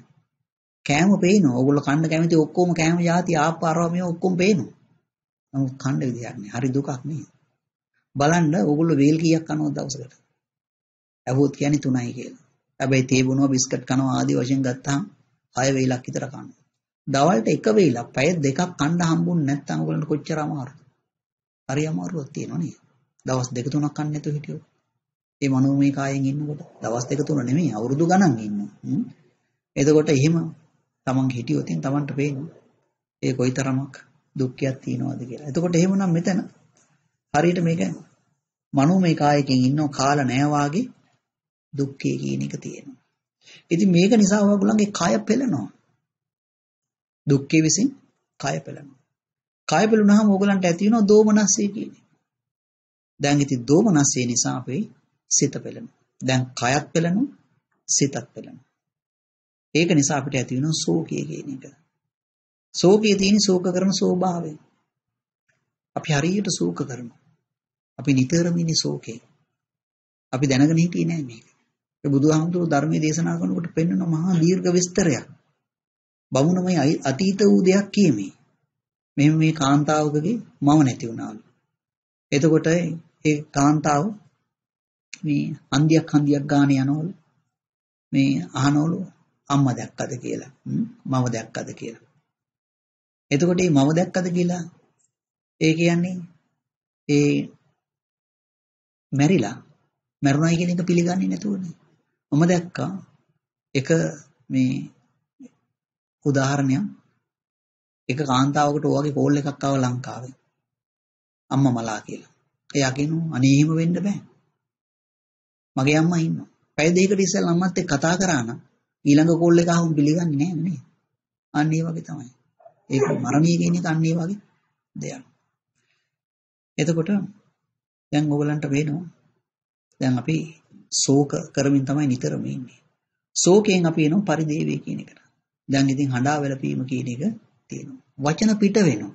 අනේ අම්මේ අනේ තාත්තේ ආදි වශයෙන් වචන පිට පිට වෙනවා. මනෝමය කායයටත් ඒ විදියයි. මක් වෙලාද මම මලේ? heart attack හැදලාද මලේ? ආදි වශයෙන් තමයි කල්පනා කරනවා. ඒතර වචන පිට කළා ඔය මල ගෙවල් වල එහෙම මිනිස්සු කලන්ත දාලා ඇදගෙන වැටෙනවා නේද? අනේ අම්මේ අනේ තාත්තේ කියලා කලන්ත දාලා ඇදගෙන වැටෙන්නේ. ඒතර ආන්නේ වගේ ඒක තමයි උපායාසය කියන එක. දැඩි ලෙස වෙහෙසටපත් කර. ඕගලන්ට හිතෙනවා ඉතින් මනෝමය කායෙන් ඉන්නවනම් කාලා නැතුව බොහෝ වෙලාවක් බොහෝ අවුරුදු ගාණක් ඉන්නකොට කෝවාගේ දැඩි ලෙස වෙහෙසක් ඇද්ද නේද? හිතලා බලන්න එක වේලකට ඕගලන්ට එච්චර අමාරු නම් බොහෝ කාලයක් ඉන්නකොට මොන වගේ අමාරුවක් ඇද්ද? හරි ෆ්‍රස්ට්‍රේෂන් එකනේ අනිත් මිනිස්සු කන මට කන්න විදිහක් නැහැ. මගේ ඇඟ වැහැරි වැහැරි යන්නා වූ ස්වභාවයක් තියෙනවා කියන එක. ඔය ඔය පෙටකෝපදේශයේ පෙන්වන උපායාස පච්චයා බවෝ කියලා. උපායාසය නිසා භවය ඇති වෙනවා කියලා. ඕගොල්ලෝ දන්නවද ඕගොල්ලන්ට හරියට මහන්සි වෙච්ච වෙලාවට ඒ කියන්නේ දැඩි ලෙස වෙහෙස තිනකොට කාමයන් හිම වැඩි කියලා. හොඳට බලන්න මහන්සි වෙච්ච දවසට කාම සිතුවිලි වැඩි වෙනවා. ඉතින් ඕගොල්ලෝ ඔක දන්නේ නැති වුණාට ওই ටීවී එකේ ප්‍රචාරය කරන එක නත් දන්නවා. එයා ඕගොල්ලන්ට ඔය දාලා දෙන්නේ ඩ්‍රාමා ෆිල්ම් සරවමියව දාලා දෙන්නේ උදේවරුට හවසවරුට. හවසවරුට නේ. මොකද මේ මිනිස්සේ මහන්සිලා ආවේ මෝන ජර ජහ ජරාවක් පෙන්නුවොත් දැන් එයා මේකට අහු වෙනවා කියන එක දන්නවා. එතකොට උපායාසයේ තරම් ධර්මයි. උපායාසය නිසා භවය කියන එක ඇති වෙනවා. දැන් ඉතින් අපි එනවා ප්‍රිය විප්පයෝගී කියන එකට. ප්‍රිය විප්පයෝගී කියලා කියන්නේ දැන් බලන්න ඕගලන්ට බබා වගේ රූපයක් තිබුණා. ಜಾති. ඒක ජරාවටපත් වෙනවා. ව්‍යාධියටපත් වුණා, මරණයටපත් වුණා. මැරලා මනෝමය කායකින් ඉන්නව කාල නෑ වාගේ දුකයි කියන එක තියෙනවා. අන්න බබා වගේ රූපයෙන් වෙන් වුණා අන්න ප්‍රියෙහි විපයෝගය. ඕගලන්ට ප්‍රිය වූ බනාපෝ එකම දේ මොකද්ද? මෙන්න මේ ශරීරය. දැන් බලන්න අම්මා කෙනෙක්ගෙන් ඇහුවොත් අම්මා මොකටද කැමති කියලා මුලින්ම කියනවා. ටිකක් කල්පනා කරලා බලලා පුතාටයි කියලා. ඒ පාර අනිත් එක්කෙනා අහන පුතාලා දෙතුන් දෙනෙක් ඉන්නවනම් කොයි පුතාටද කැමති කියලා. දැන් අම්මට උත්තරේකුත් නැහැ දී ගන්න. පුතා උතා තමයි මේ පපුව පොඩ්ඩක් මෙහෙර දෙන්න ගත්තොත් මොකද කියන්නේ? මාව වෙජහර හොස්පිටල් එකට ගෙනියපල්ලයි කියලා කියනවා. මොකද පුතා මලා නම් තව පුතෙක් ඉන්නවා. මේ පුතා මලා නම් ඉවරයි නේද? මේ ශරීරේ ගියා නම් මේක ඉවරයි. එතකොට මේක තමයි ඔයගලන්ට මනාපෝ ප්‍රිය වූ එකම දේ. ඉතින් තමන්ගේ දරුවා මලා, හස්බන්ඩ් මලා ආදී වශයෙන් ඒවත් ඔක්කොටම ඒවත් අයිති. හැබැයි ලොකුම දුක්ඛය තමයි මේ ශරීරයෙන් තමන් වෙන්ුණා කියන එක. ඉතින් මේ જાතියව තියෙන එකයිනේ. එතකොට එහෙමනම් තමන්ට මනාපෝ ප්‍රිය වූ එකම දේ වෙන්ුණා නම් ඊටු දේවල් ඔක්කොම අප්‍රියයි. ප්‍රිය ප්‍රයෝගයෙන් අප්‍රිය සංපයෝගය. ඒක හරියට ඔය මිනිස්සේ කුඩ පයින්නවා. මේ ළමයි කුඩ පයින්නවා. මට මෙන්න මේ සෙල්ලම් බඩුව ඕනි මට මේ සෙල්ලම් බඩුව ඕනි කියලා. ඉතින් අම්මා කියන පුතේ ඕක නම් දෙන්න විදිහක් නැහැ. මම මෙන්න මේ සෙල්ලම් බඩුව දෙන්නම් කියලා. ඒ පාර එයා අල්ලගෙන ඒක පොලේ ගහනවා. පොලේ ගහලා කියනවා නෑ මට මේකම ඕනි මට මේකම ඕනි. ආන්නේ වගේ තමයි ඔයගලන්ට ඕනි එකම දේ මේ ශරීරය. ඇයි හිතලා බලන්නකෝ. මොන දේ හම්බුණත් හම්බ වෙනවද මේ මනෝමය කායෙන් ඉන්න මිනිසයාට පේනවා අනිත් අය කන ඔක්කොම සුවඳ දැනෙනවා. ආහාර පේනවා. රස විඳිනවා කියලා පේනවා අනිත් මිනිස්සුන්ගේ. එයාගේ තැඟීම තියෙනවනේ අතීතේ විඳලා විඳලා නේද? ඉතින් මට කන්න බැරි නම්. ඉතින් දැන් ආප්ප අරව මේව රොටි ඔක්කොම දකින්නව ඔක්කොම අප්‍රියයි. දැන් ලෙඩෙකුට වැඩක් නැහැ නෙමේ. ආහාර හොඳ හොඳ જાති පෙන්නුවයි කියලා නේද? මේ මිනිස්සුන්ට කන්න බැරි නම් මොකක් කරන්නද? ඒක ඇති වැඩක් තියෙනවා. ආන්නේ වගේ තමයි අප්‍රිය සංපයෝගය. එතනින් එනවා අපි යම් පිච්චන්නල බුදි තම්පි දුක්ඛේ. ඒ කියන්නේ මොකද්ද? දැන් අපි දුක්ඛේ කාරණා 11ක් බලලා තියෙනවා. මේ 12 වෙනි කාරණා. එතකොට 11 බලමු මිනිසයාට පේනවා එහෙනම් ජාති දුකයි. ඉතින් ජාති දුකයි කියලා දන්න මිනිසයා කල්පනා කරනවා අනේ මං ඉපදෙන්නේ නැත්තම් කියලා. නමුත් එයා තණ්හාව තියෙනවා නම් ඉපදෙනවා. ජරාවටපත් වෙන පුද්ගලයා කල්පනා කරනවා අනේ අපි ජරාවටපත් වෙන්නේ නැත්තම් කියලා. ජාතිය තියෙනවනේ ජරාව ඇති. ව්‍යාධියටපත් වෙන පුද්ගලයා කල්පනා කරනවා අනේ අපි ව්‍යාධියටපත් වෙන්නේ නැත්තම් කියලා. ජාතිය තියෙනවනේ ජරා ව්‍යාධිය ඇති. මරණයටපත් වෙන පුද්ගලයා කල්පනා කරනවා අනේ අපි මරණයටපත් වෙන්නේ නැත්තම් කියලා. ව්‍යාධිය තියෙනවනම් මරණිය තියෙනවා. ඒ විදිහට ඊටු කාරණා ටිකත් හොයන්න. කෙටියෙන් බුදුහාමුදුරෝ දේශනා කළ සංකිට්ඨේන පංච උපාදානස්කන්ධාපි දුක්ඛා කියලා. ඒ කියන්නේ රූප වේදනා සංඥා සංස්කාර විඥාන කියන මේ හැලීමක් තියෙනවා දේක දුකයි කියලා. එතකොට එහෙනම් මේ රූපය කියන එක මොකද්ද?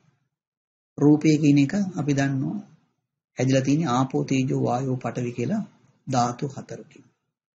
පඨවි ධාතුව කියන එක කියන්නේ තද ගතිය කියන එක. ඉංග්‍රීසි භාෂාවෙන් කියනවා element of extension කියලා. දැන් බලන්න මේ රිමෝට් කන්ට්‍රෝල් එක ඕගලන්ට මෙහි විදිහට අල්ලා ගන්න පුළුවන්කම කියන එක තියෙනවා. ඒක එක්ස්ටෙන්ඩ් වෙලා තියෙනවා. එතකොට මේ තද ගතිය නිසා තමයි අවකාශයේ මේක ස්පේස් එකක් ගන්නවා කියන එක තියෙන්නේ. ඒක නැත්තම් ඒක ලබා ගන්න පුළුවන් කමක් ඇති වෙන්නේ නැහැ. මේ ධාතු හතරම එකට තියෙන්නේ. දැන් වතුර වගේ එකක් තිබුණා අපිට මෙහෙම අල්ලන්න බෑ. ඒක වැగిරලා යනවා නේ. එතකොට දැන් මේ පටවි ධාතු ඒකේ පෙන්නනවා මේ ඒක තද ගතිය, මුරුදු ගතිය අන්න ඒකයි මේ ගතියක් මේ පෙන්වන්නේ. ඊළඟට තියෙනවා ආපෝ ධාතුව කියන එක. ආපෝ කියන්නේ ජලයට නම. හැබැයි ජලය නෙමෙයි ආපෝ ධාතුව කියන්නේ. ජලය තුල තියෙනවා ඒ වැగిරෙන ගුටි ගුණය. ඉංග්‍රීසි භාෂාවෙන් කියන ඔකට element of cohesion කියලා. cohesion කියලා කියන්නේ intermolecular attraction force එක. දැන් බලන්න මෙතන මේ remote control එකයි mouse එකයි තියෙනවා. මේක මේසයක් උඩ තිබුණොත් මේක එකට එක්ක වෙනවද? නෑ. හැබැයි මෙතන හිතන්න බලන්න වතුර බින්දු දෙකක් තියෙනවා. උලම් පාරාවත් ඇති මේ දෙක ගිහිල්ලා සම්බන්ධ වෙනවා කියන එක තියෙනවා. අන්න cohesion attraction එකක් එතන තියෙනවා. එතකොට ওই ජලය වාගේ දේවල් වල මේ ගතිය වැඩියෙන් තියෙනවා. more prominent කියන එකයි මේ කියන්නේ. ආපෝ ධාතුව කියන ගුණය වැඩියෙන් තියෙනවා. අනිත් ගුණයනුත් තියෙනවා. මොකද අපිට පුළුවන් freeze කරන්න. freeze කරොත් මොකද වෙන්නේ? මේක තද ගතිය කියන එක ඇති වෙනවා ice cube එක වාගේ කියන. ඒ වගේ පුළුවන් අපිට රත් කරන්න. වාෂ්ප වෙලා යනවා නේ.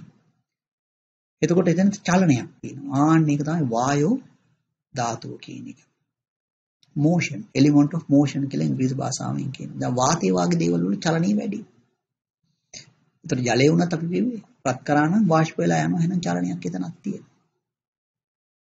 එතකොට දැන් ඊළඟට තියෙනවා අපේ තේජෝ ධාතුව කියන එක අපේ ශරීරේ උෂ්ණයක් තියෙනවා. හීට් එකක් නේද? එලිමන්ට් ඔෆ් හීට් කියලා ඉංග්‍රීසි භාෂාවෙන් කියනවා. දැන් ඕක නිසා තමයි අපි වයසට යන්නේ අපේ ආහාර මෝරන්නේ. පළතුරු ගෙඩියක් වුණත් ඉදෙන්නේ. ඔන්න හීට් එක නිසා. එතකොට ධාතු හතරයි. මේ ධාතු හතර එකට තියෙන වෙන් කරන්න බෑ. ඕයෙන් තමයි මේ හැදිලා තියෙන මේ බිත්ති අරව මේව මේ ගෙවල් දොරවල් ඔක්කොම දේවල්. ඒ වගේම අපිට ඇහෙන සද්ද. අන්න ඒවට කියනවා derived qualities කියලා. සද්ද ගන්ධ ඒ වගේ දේවල් වලින්. එතකොට මෙන්න මේ ධාතු හතරෙන් තමයි මේ ඔක්කොම දේවල් ඇදලා තියෙන අපිට පේන රූප කොටස. ඊළඟට වේදනා. වේදනා කිව්වහම සුඛයි දුකයි අදුක්කම සුඛයි කියලා කියන්න පුළුවන් සුඛයකුත් දුක්ඛයකුත් නැති වේදනාව. ඒ වගේම ඕගොල්ලෝ පුටුවක වාඩිලා ඉන්නවනම් ඒ පුටුව සැප වෙනවා දුක වෙනවා. එතකොට ඒ විදිහට කායික මානසික වශයෙන් වේදනාව හය ආකාරයි. ඉතින් ඕකට ඇහැ කන නාසය දිව ශරීරයේ මනස ඒවයින් ඇති වෙන දේවල් අතීත අනාගත පච්චුප්පන්න ආදී වශයෙන් බැලුවොත් එහෙනම් ඕක 108ක් විතර කරා ගමන් කරනවා. ඒතර කෙටියෙන් මතක තියාගන්න පුළුවන් සුඛයි දුකයි සුඛයකුත් දුක්ඛයකුත් නැති එක අදුක්ඛ මසුවයි කියලා. නයිද ප්‍රෙෂරබල් නෝ නන් ප්‍රෙෂරබල් කියන එක. ඊළඟට පෙන්නනවා සංඥාව කියන එක. සංඥාව කියන එක ඒකෙන් තමයි අපි හඳුනාගන්නේ අපි හඳුනා ගන්නවා. රතුයි කියලා හඳුනා ගන්නවා, කොළයි කියලා හඳුනා ගන්නවා ආදී වශයෙන් හඳුනා ගැනීමක් කියන එක තියෙනවා. ඒ සංඥාවෙන් තමයි වේදනාව කියන එකත් හඳුනාගන්නේ. බුදුහාමුදුරු දේශනා කරන what one feel is what one perceive. Tamanට දැනෙන වේදනාව තමයි තම හඳුනා ගැනීම කියන එකත් කරන්නේ. ඊළඟට ආපහු ඔය සංඥාවෙන් තමයි අපිට හරියට වරද්දන්නේ. කොහොමද සංඥාවෙන් වරද්දන්නේ? ඕගොල්ලන්ගේ ඔළුවේ කෙස් තියෙනකොට ඕගොල්ලෝ එක පීරනවා, අත ගන්නවා, සාතු සප්පායම් කරනවා. ඒ කෙස් ගහම ඕගොල්ලෝ කන පිඟානේ තිබුණොත් මොකද කියන්නේ? කීයා කියන්නේ? ජරාවයි කියන්නේ. වේට කෙනෙක් එහෙම සර්ව් කරා නම් එයාට බනිනවා. ඒතර හරි කල්පනා කරලා බලන්න මෙතන මේ සංඥා දෙකක් තියෙන්න බෑනේ හරියට. ඔළුවේ තියෙන එකද හරි, පිඟානේ තියෙනකොට කියන කතාවද හරි කියන එක කල්පනා කරලා බලන්න. හරි සංඥාව කොයි එකද කියලා තමම තෝරගත්ත හැකියි. ඒ කියන්නේ ඔළුවේ තියෙනකොට අපි ජරාවයි හොඳයි කියලා කිව්වනම් පිඟානේ තියෙනකොටත් හොඳයි කියන්න ඕනේ. පිඟානේ තියෙනකොට ජරාවයි කියලා කිව්වනම් කෙස් වලට ඔළුවේ තියෙනකොටත් ජරාවයි කියන්න ඕනේ. හරි එක තමම තෝරගන්න ඕනේ. ඊළඟට ওই සංඥාවෙන් සංස්කාරයන් කියනීම හැදෙනවා. එතකොට සංස්කාර පෙන්වන්න පුළුවන් කාය වචී මනෝ. කාය සංස්කාර ගුවම ආස්වාස වාස්වාස. වචී සංස්කාර ගුවම විතක්ක ਵਿਚාර කියනීම. ඊළඟට චිත්ත සංස්කාර ගුවම සංඥා වේදනා චේතනා වාගේව චිත්ත සංස්කාර. එතකොට මෙන්න මේ සංස්කාරයන් භාවිතා කළා. ඔගොල්ලෝ දැන් අතු ආස්වාස පාස්වාස කියන්නේ කාය සංස්කාර කියලා. ඉතින් හොඳට හුස්ම ඇදලා මොකද්ද කරන්නේ? එක්ක වැඩට යනවා අදත්තා දාන. එහෙම නැත්නම් පානාති වාතය කරනවා. නේද? ඕවනේ අපි කරන්නේ. එතකොට එහෙමනම් පින්පව් ඒවනම රැස් වෙනවා. එහෙනම් පුඤ්ඤාභි සංස්කාර, අපුඤ්ඤාභි සංස්කාර, ආනිඤ්ඤාභි සංස්කාර කියලා සංස්කාර තුන් ආකාර වෙනවා. පුඤ්ඤාභි සංස්කාර කියලා කියන්නේ අපි මේ දේවල් පුණ්‍ය කර්මයක්. දන් දීම වාගේ දේවල් කරනවා. ප්‍රථම ධානය, ဒုတိ ය ධානය, තෘතිය ධානය, චතුර්ථ ධානය ඒවා විල පුඤ්ඤාභි සංස්කාර. අපුඤ්ඤාභි සංස්කාර කියලා කියන්නේ පුණ්‍ය කර්මයන් නොවන දේවල්. පාණාතිපාතී කියන ඒවා පුණ්‍ය කර්මයන් නෙමෙයි. අදත්තා දාන පුණ්‍ය කර්ම නෙමෙයි. ඊළඟට ආනින්ජාපි සංස්කාර කියලා කිව්වම ආනින්ජ කියලා කියන්නේ ඉංජිතයක් නෑ සැලවීමක් නෑ. ආන්නේව තමයි ආකාසඤ්ඤායතන විඥානඤ්ඤායතන ආකින්චඤ්ඤායතන නේව සංඥා නාසඤ්ඤායතන කියන්නේ. එතකොට දැන් අපි ඉගෙනගත්ත සංස්කාර. එතකොට කජ්ජනීය සූත්‍රය කියලා සූත්‍රයක් තියෙනවා. ඒ සූත්‍රය තථාගතයන් වහන්සේ අහනවා. ඇයි අපි සංස්කාර කියලා කියන්නේ? බුදුහාමුදුරුවෝ උත්තර දෙනවා සංස්කාර කියලා කියන්නේ සංකතං අபிසංකරන්ති. සකස් කරපු දේ නැවත සකස් කරනවා. මොකක්ද ඒ කියන්නේ? රූපේ රූපේ වශයෙන් සකස් කරනවා. වේදනාව වේදනාව වශයෙන් සංඥාව සංඥාව වශයෙන් සංස්කාරය සංස්කාරය වශයෙන් විඥානේ විඥානේ වශයෙන් සකස් කිරීම කියන එක කරනවා. උදාහරණයක් හැටියට කියනවා නම් මෙතන මේසයක් තියෙනවා. කොහොමද දන්නේ ඔයගොල්ලෝ මෙතන මේසයක් තියෙනවා කියලා? කකුල් හතරක් තියෙනකොට මෙතන ලෑල්ලක් වගේ එකක් තියෙනකොට ඔයගොල්ලෝ කියනවා මේසෙයි කියලා. පොඩි කාලේ අම්මා තාත්තා ඇඟිල්ල දික් කරලා පෙන්නලා කිව්වා නේද? එතකොට ඒක නිසා අද ඕගොල්ලෝ දකින්නකොට මේ කකුල් හතරකුයි ලෑල්ලකුයි එහෙම තියෙනකොට දකින්නකොට එකපාරටම ඕගොල්ලෝ කියන අන්න මේසෙ කියලා. අර පොඩි කාලේ පෙන්නලා දීපු එක නැවතත් අපි සකස් කරනවා. ඒක තමයි සංකතං අපි සංකාරොන්ති කියලා කියන්නේ. එතකොට විඥානීය කියන එක සකස් කරන්නේ සංස්කාරය. ඒතර විඥානීය කියන එක හය ආකාර වෙනවා. ඇහැයි රූපය නිසා චක්ක විඥානි, කනයි සද්දයයි නිසා සෝත විඥානි. ওই විදිහට මනසයි ධර්මයයි නිසා මනෝ විඥානි. ඒතකොට විඥානේ ආ විදිහට සකස් වීම කියන එක තියෙනවා. ඒක හරියට දර වලින් පත්තු කරොත් ඕගොල්ලෝ කියනවා දර ගින්දර කියලා. ගෑස් වලින් පත්තු කරොත් ගෑස් ගින්දර කියනවා. ඒ වගේ ඇහැයි රූපය නිසා චක්ක විඥානි, කනයි සද්දයයි නිසා සෝත විඥානි. එතකොට ওই විදිහට ඕගලන්ට පේනවා විඥාන කියන එක. එතකොට රූප වේදනා සංඥා සංස්කාර විඥානයන්ගේ යම්කිසි ඇලීමක් තියෙනවද බුදුහාමුදුරුවෝ ඒක දුකයි කියලා දේශනා කරනවා. එතකොට දැන් අපි භාවනාව සඳහා භාවිතා කරන පොඩි සූත්‍ර දේශනාව. ඒ සූත්‍රය ඕගොල්ලන්ගේ මේ ෆෝල්ඩර් එකේ තියෙනවා. ඒකට කියන්නේ සමාධි භාවනා සූත්‍රය කියලා. ඒක අපි අරගෙන පොඩ්ඩක් බලමු. මේ සමාධි භාවනා සූත්‍රය පෙන්නනවා මා විසින් මෙසේ අසන ලදී එක් කලක භාගතුන් වහන්සේ සවැත් නුවර සමීපේ ජේතවන නම් වූ අනේපිඩු සිටුවකේ අරම්මී වැඩවසන සේක. එහිදී භාගතුන් වහන්සේ මහණී කියා භික්ෂුන් නැමතුසේක. වහන්සේයි භික්ෂු භාගතුන් වහන්සේට පිළිවදා ඇසූ. භාගතුන් වහන්සේ මේ කාරණේ වදාළා. මහණෙනි සමාධිය වඩව. මහන්නේ සමාධිගත මහණ යථා භූතෝ ඇතිසැටි දනී. කුමක් යථා වශයෙන් දනී දෙයත්. රූපයාගේ සමුදේද අස්තංග වේද. වේදනාවේ සමුදේද අස්තංග වේද. සංඥාවේ සමුදේද අස්තංග වේද. සංස්කාරයන්ගේ සමුදේද අස්තංග වේද. විඥානයගේ සමුදේද අස්තංග වේද. සමුදය කියලා කියන්නේ හට ගැනීම. අස්තංගමී කියලා කියන්නේ නැතිවීම. ඇතිවීම නැතිවීම කියන එක නේද? ඉතින් ඕක අපි දන්නව නේද? ඇතිවීම නැතිවීම කියන එක. කවදාවත් අපි හිතන්න හොඳ නෑ අපි මේක දන්නවා කියලා. මොකක් හරි එකක් දන්නවා කියලා හිතපු ගමන් මොකද වෙන්නේ? මාන්නයක් එන්නේ. මාන්නය විසින් අර ධර්මයේ ගන්න බැරි වෙනවා. ඉගෙන ගන්නවත් බෑනේ. ලෙක්චර් එකකට ගිහිල්ලා සහභාගී වෙන්න. දන්නවා කියලා හිතාගෙන හිටියොත් ඒ මොනසයකින් දේවල් අහගෙන ඉන්නේවත් නැහැ. දන්නේ නැහැයි කියලා හිතුවොත් නම් මේක වැටහෙනවා. රහත් උනත් හිතන්න හොඳ නැහැ මම දන්නවා කියලා. මොකද බුදුහාමුදුරුවෝ ඊට වැඩිය දන්නවා. මේක නිසා. එතකොට මේක පෙන්නනවා මහානි රූපයාගේ සමුදේ කවරේද? වේදනාවේ සමුදේ, සංඥාවේ සමුදේ, සංස්කාරයාගේ සමුදේ, විඥානයාගේ සමුදේ කවරේද කියලා පෙන්වනවා. සමුදය කියලා කියන්නේ හට ගැනීම කියන ඒ රයිසින් කියන එකයි මේ පෙන්වන්නේ. එතකොට ඒක පැහැදිලි කරනවා අපි මේ pāli භාෂාවෙම තියෙන එක බලමු. ඉද බික්කවේ බික්කු අභිනන්දති අභිවදති අජෝසාය තිත්තති.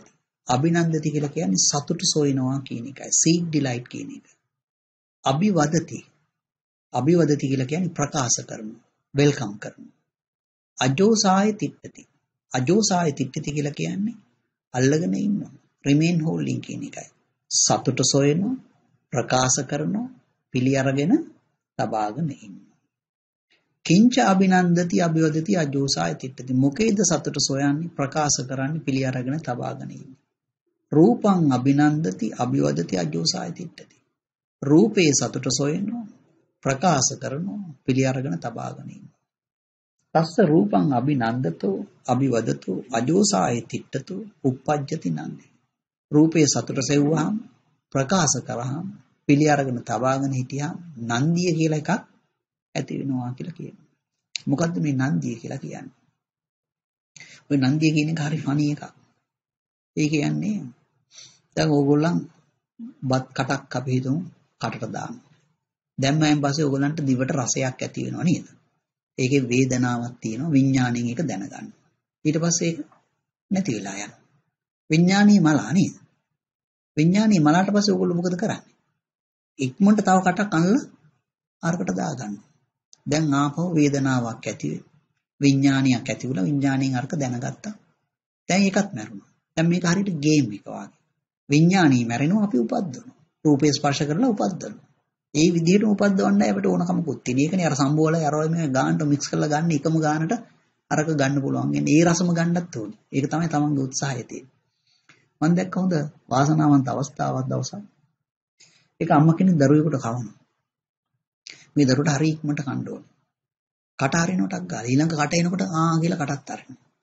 දැන් කාලේ හොයා ගන්නත් බෑ නේද? ඒ කියන්නේ මේ පස්සෙන් දුවන්න එපා මේ කැමී කරගෙන. මේ ළමයි එහෙම කට අරිනවා. හැබැයි අර අවාසනාවකට අර අම්මගේ ප්‍රශ්නයක් ඇහුවා එක්කෙනෙක් ඒ පාර අම්මා අර කුස්සියේ කබඩ් දිහා බලාගෙන ඉඳන් කිව්වා ඔන්න ඔය කබඩ් එකේ තමයි ඒක තියෙන්නේ කියලා. ඉතින් මෙයාට අනා ගන්න හම්බුන්නේ නැහැ. අර ළමයට තරහක් ගියා. මොකද මැරිච්ච විඥානේ ඉක්මනට උපද්දවන්න හම්බුනේ නැහැ. දැන් එහෙනම් මේක දීර්ඝ කාලිනව බලන්න. ඕගලන්ට බබා වගේ රූපයක් තිබුණා. ಜಾති. ඒක ජරාවටපත් වුණා. ව්‍යාධියටපත් වුණා. මරණයටපත් වුණා. මරණය කියන්නේ මොකද්ද?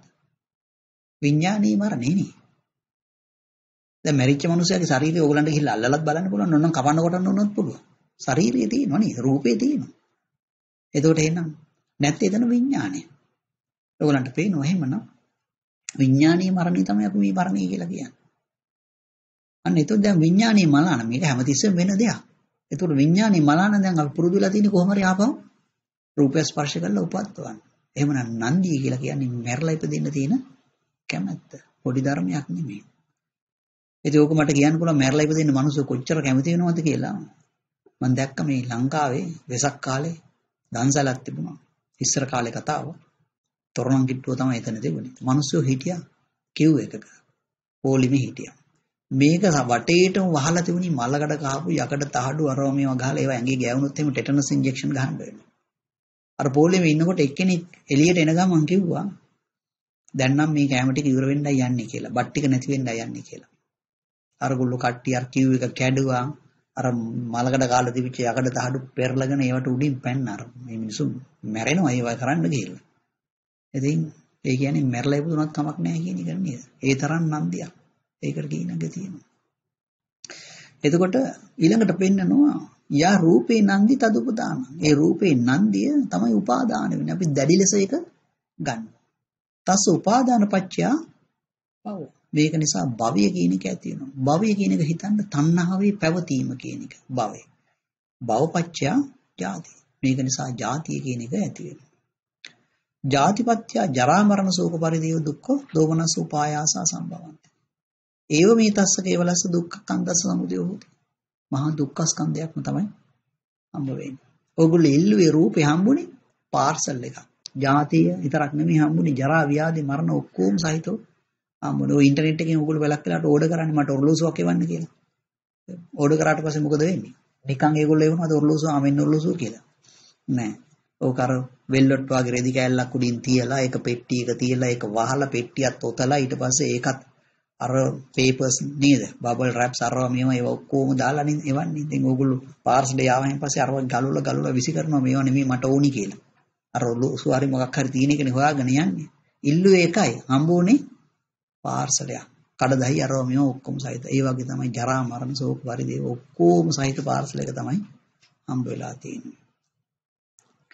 එතකොට මේක අපි කරන්නේ කොහොමද මේක මේ මේ මේක හරියට මේක තමයි රෙසිපි එක. හිතන්න මේක තමයි රෙසිපි එක. කුක් කරනකොට රෙසිපි එකක් තියෙනව නේද? මේ රෙසිපි එක අරගෙන අපි කුක් කරනවා වගේ වැඩක් තමයි මේ භාවනා කරනවා කියන්නේ. ඒක තමයි බෞද්ධ භාවනා ක්‍රමය. ධර්මයේ මෙනෙහි කිරීම. පටිච්ච සමුප්පාදයක් මෙතන තියෙන්නේ. මේ පටිච්ච සමුප්පාදයේ කොටස මෙනෙහි කිරීම. නැතු ඔය කසිනිය දිහා බලාගෙන මේක නිලයි නිලයි කියන එක බෞද්ධ භාවනා ක්‍රමය නෙමෙයි. බෞද්ධ භාවනා ක්‍රමය කියන්නේ තනිකර සිටීම. සම්පූර්ණ පුණා තමන් සිතන මොකද්ද මෙනෙහි කරන්නේ? පටිච්ච සමුප්පාදය. මේ තියෙන පටිච්ච සමුප්පාදය. එතකොට දැන් මේකට අපි උදාහරණයක් අරගෙන බලමු. මේ බුදුහාමුදුරු කියන ධර්මය දැන් මට තේරෙනවද මේ කියලා උදාහරණයක් බලමු. ඒ උදාහරණයට ගමු අපි. ටීවී එක බලනවා කියන එක. ඒ ටීවී එක කියන එක ගත්තාම දැන් ඕගොල්ලෝ ගිහිල්ලා මේ රිමෝට් කන්ට්‍රෝල් එකත් අරගෙන ගිහිල්ලා ඔබනවා නේ. එබැවින් පස්සේ මේ පික්චර් එක ආ ඒක හරින. එපාර තව එකක් ඔබන. ඔහොම ඔබලා ඔන්න ඔන්න පික්චර් එක ආව දැන් එන්න වාඩි වුණා අන්න. අර ඔබ ඔබ බැලුවා කිව්වේ සතුට සෙව්වා. සීග්ගිලයි. එතකොට දැන් ඔන්න රූපේ සතුටක් ඇති වුණානේ. නේද? දැන් ඒ පාර දැන් ඕගොල්ලෝ පුටුවේ වාඩිලා ඊළඟට මොකද කරන්නේ? අනිත් අයට කතා කරනවා නේද?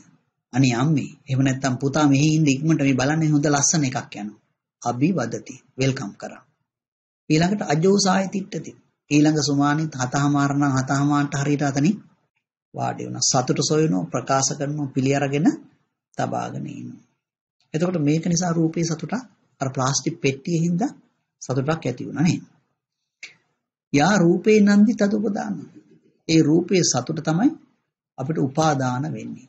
අපි දැඩි ලෙස ඒක ගන්නවා කියන එක තියෙනවා. ඒතර ඊළඟ සුමාන්ටත් ඕනී කියලා හැම කිව්වේ නේද? ඒක උපාදානයේ නිසා භවය. ඒ තණ්හාව තමා තුළ පවතිනවා. ඒක හිතන්න බලන්න ඕගොල්ලන්ගේ ගෙදර තියෙනවා කියලා කැටයක්. මේ කැටේ බිත්ති හදලා තියෙන්නේ ඔක්කොම රූප වේදනා සංඥා සංස්කාර විඥාන කියන පහෙන්. ඉතින් ඕගොල්ලන්ගේ හැබිට් එකක් තියෙනවා. අපි හිතමු ආප්ප කනවා කියලා. එතකොට ආප්පයක් කෑවා. ඉතින් ඩොලර් 3ක් 4ක් වෙනවනේ ආප්ප නේද? මම දන්නේ මේ ගන්න තියෙනවද කියලා. ඉතින් ආප්පේ දානවා ඩොලර් 3 4 දානවා කැටේට. ජෙලි බීන්ස් කියලා කියන්නකෝ. ජෙලි බීන්ස් කනවා නම් ඉතින් ඒකට ඩොලර් දෙකක් දානවා කැටේට නේද? ලස්සන කාන්තාවක් දකින්න ඩොලර් ලක්ෂයක් දානවා කැටේට. ලස්සන පුරුෂයෙක් දකින්න ඩොලර් ලක්ෂයක් හරි 80000ක් හරි දානවා. ලස්සන බබෙක් දකින්න ඩොලර් 20000ක් දානවා. ලස්සන ගවුමක් දකින්න ඩොලර් 50ක් 60ක් 100ක් හරි අර කැටේට දානවා. දැන් බලන්න මනෝමය කායකින් ඕගොල්ලෝ ඉන්නවා කියලා හිතන්න මැරිලා. දැන් මොකද වෙන්නේ? අන්න කැටේ පේනවා අන්න මම මේ ඩොලර් පහ තුන දාලා තියෙන්නේ මොකටද? එක්ක ජෙලි බීන්ස් කන්න එහෙම නැත්නම් ආප්ප කන්න නේද? එතකොට අපිට මේ විදිහ කටක් නේ ඕනේ. එහෙම එකක් හම්බ වෙනවද අපිට? මලාට පස්සේ. හම්බ වෙනවා. හම්බ වෙන්නේ නැත්නම් හම්බ වෙනවා. හැබැයි ඕගොල්ලෝ හිතපු කට නොවෙන්න පුළුවන්. අන්න ඒක තමයි ප්‍රශ්නේ තියෙන්නේ. ඕක එක හාමුදුරුවමකට වුණා. එක හාමුදුරුවමකට සිවුරක් හම්බ වුණා. හාමුදුරුව බොහොම සතුටු වුණා සිවුරට. සිවුර අතපත ගානකොට හාමුදුරුව මිය ගියා. අවාසනාවකට මිය ගියා. ගිහිලා උපන්නේ මොකෙක් වෙලාද? අර රෙද්දේ ඉන්න කාවෙක් වෙලා, මොත් කෙනෙක් වෙලා. හාමුදුරුව හිතුවේ මොකද්ද? මේ රෙද්ද අරගෙන මේ ඇඟ වටේ උතා ගන්න නේද? ඒකනේ කරන්නේ රෙද්දෙන්. ඉතින් ඕක අර කාවට ඊට වඩා හුඟක් හොඳට කරන්න පුළුවන්. ඌට ඒක අස්සේ ඉන්නත් පුළුවන්. ඒකේ චූ මුත්‍රා කරන්නත් පුළුවන්, අසුචි පිට කරන්නත් පුළුවන් නේද? කණ්ඩත් පුළුවන්. ඔක්කොම දේවල් ඒකේ කරන්න පුළුවන්. ඔන්න ඕක තමයි භවආශ්‍රය ලක්ෂණය. ඒක පෙන්නනවා. ප්‍රාර්ථනීය ග්‍රන්ථයෙන් අபிසංකාරාකාය සංකරන්ති කියලා. ප්‍රාර්ථන. ඩොලර් දෙක දැන් මේ ආපකණ්ඩ නම් අන්න ආපෝ ප්‍රාර්ථනා. ග්‍රන්ථයේ ගැට ගැහෙනවා. ආපකාල ඇති වෙන වේදනාවට ගැට ගැහෙනවා. අபிසංකාරාකාය සංකරන්ති කියලා කියන්නේ ඒකට ඇහක් කනක් නාසයක් දිව ශරීරයක් කියන එක හදනවා කියන එකයි. ඒක තමයි ඒ ඒ කියන්නේ ඇහක් හැදුවා කනක් හැදුවා. අන්න හැදුවේ කොහෙද? අර සතික් වෙලා තමයි ඒ හාමුදුරන්ගේ කතාවෙද. ඉතින් ඕගොල්ලෝ කල්පනා කරන්න. ඒ ආප්ප කියන එක කන්න. මිනිස්සෙක් වෙන්න ඕනේ බල්ලට කන්න පුළුවන්. ඔය කුඩා කූඹීන්ට කන්න පුළුවන්. මැස්සන්ට කන්න පුළුවන් නේ. එතකොට අන්න ඒක තමයි භව ආශ්‍රය ලක්ෂණ. එතකොට මේ විදිහට හදනවා. එතකොට භවයෙන් එන අන්න හදාගත්තා. ඒ ඇහක් කනක් නාසයක් දිවක් ශරීරයක් මේක කන්සියුම් කරන්න පවත්වන්න පුළුවන් වෙන විදිහක අපි හදාගත්තා. අන්න ඒකෙන් තමයි භවයේ ಜಾතිය කියන එක ඇති වෙන්නේ. ඉතින් මොකද්ද අපිට ඇති වෙලා තියෙන්නේ අන්තිමට? දුක්ඛයක්.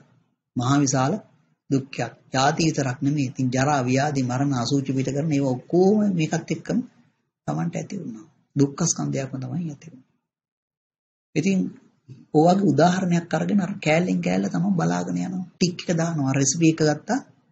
අර අල ටිකක් ගත්තා, හොදි ටිකක් මේ මේ ලුණු ටිකක් ගත්තා කියලා දාන්නේ. ආන්න ඒ වගේ තමයි මේ ටික් එක දාගෙන යනවා කියන එකයි කරන්නේ. ඉතින් පෙලක් අය කල්පනා කරනවා මට නම් ඕක උදාහරණයක් වෙන්නේ මම ඔය ටීවී බලන්නේ නැහනේ. ඒකින්ද තමන්ගේ මාන්නයකුත් දා ගන්නවා ඒකත් එක්කම කල්පනා කරනවා දැන් මට උදාහරණයකුත් නැහැ මං හොඳයි කියලා නේද? එහෙම නුතින් ධර්මයේ වැටෙන්නේ නැහැ. තමන් මොකක් හරි උදාහරණයක් ගන්න ඕනේ. මං කියන්න ඕනම කෙනෙකුට සාධාරණ උදාහරණයක්. ඒක තමයි ආහාර. ඒක ආච්චියම්ම කෙනෙක් මාත් එක්ක කියනවා එළියේ ඉඳන් කියනවා පුතේ මං නම් කිසි එකකට මම ලෝකේ ඇලිලා නැහැ කියලා. ඒ පාර මං ආච්චියම්මගෙන් අහුවා ආච්චියම්ම එතකොට මේ ආහාර වලට කියලා. ආච්චියම්ම දගනේ පුතේ මම ඕවට දැන් ඇලිලා නැහැ කියලා. හැබැයි බලන්න ඕනි ආච්චියම්ම කොහෙද මේ යන්නේ කියලා. කොහෙද යන්නේ? කරපිංචත්තක් කඩාගෙන යන්නේ. පොද්දට දාන්න කරපිංච කඩන්න යන ගමන් තමයි කියන්නේ මම මෙහෙම මොකටවත් ඇල්ල නැති කියලා. ඉතින් ඒ වගේ ආච්චිම කෙනෙක් ඕගොල්ලන්ටත් ඉන්නවනම් වාහනයක දාගෙන ගෙනියන්න. ඔය සුපර් මාකට් එකකට හරි පොලට හරි ගෙනියන්න. ගියාම ආච්චිම කියන පුතේ මේකෙන් ගන්න. පුතේ මේකෙන් ගන්න. ආන්න මේ වෙලාවේ බැන්නත් කමක් නැහැ. ඕගොල්ලෝ පෙන්නලා දෙන්න ආච්චිම එහෙනම් මේවට ඇලිලා නේද කියලා. එයා කණ්ඩ කැමති කෑම තමයි මේ ගන්නේ කියලා එයා කියන්නේ. එතකොට ඕනම කෙනෙක් මේ ආහාරයට ඇවිල්ලා මං කිව්වේ ඕගොල්ලෝ ගත්තේ කුණු අඹ ගෙඩිය. හොඳ අඹ ගෙඩිය ගත්තේ කවුද? බ්‍රාහ්මයා. මේක ජරාවයි කියලා එයා ගියා බ්‍රහ්ම ලෝකෙට. මේ මනුස්ස ලෝකෙට ඇවිල්ලා කවුරු හරි කියනවනම් මං නම් ওই ආහාර වලට මොකක්වත් නැහැයි කියලා ඒක මුසාවක්. ආවෙත් ඕකට පාවිච්චි කරන්නෙත් ඒක. මේකම තමයි ඕගොල්ලන්ට ලොකෝටම තියෙනව දේවල්. අනිත් දේවල් කුඩා දේවල්. මේකත් එක්ක ගත්තයින් පස්සේ.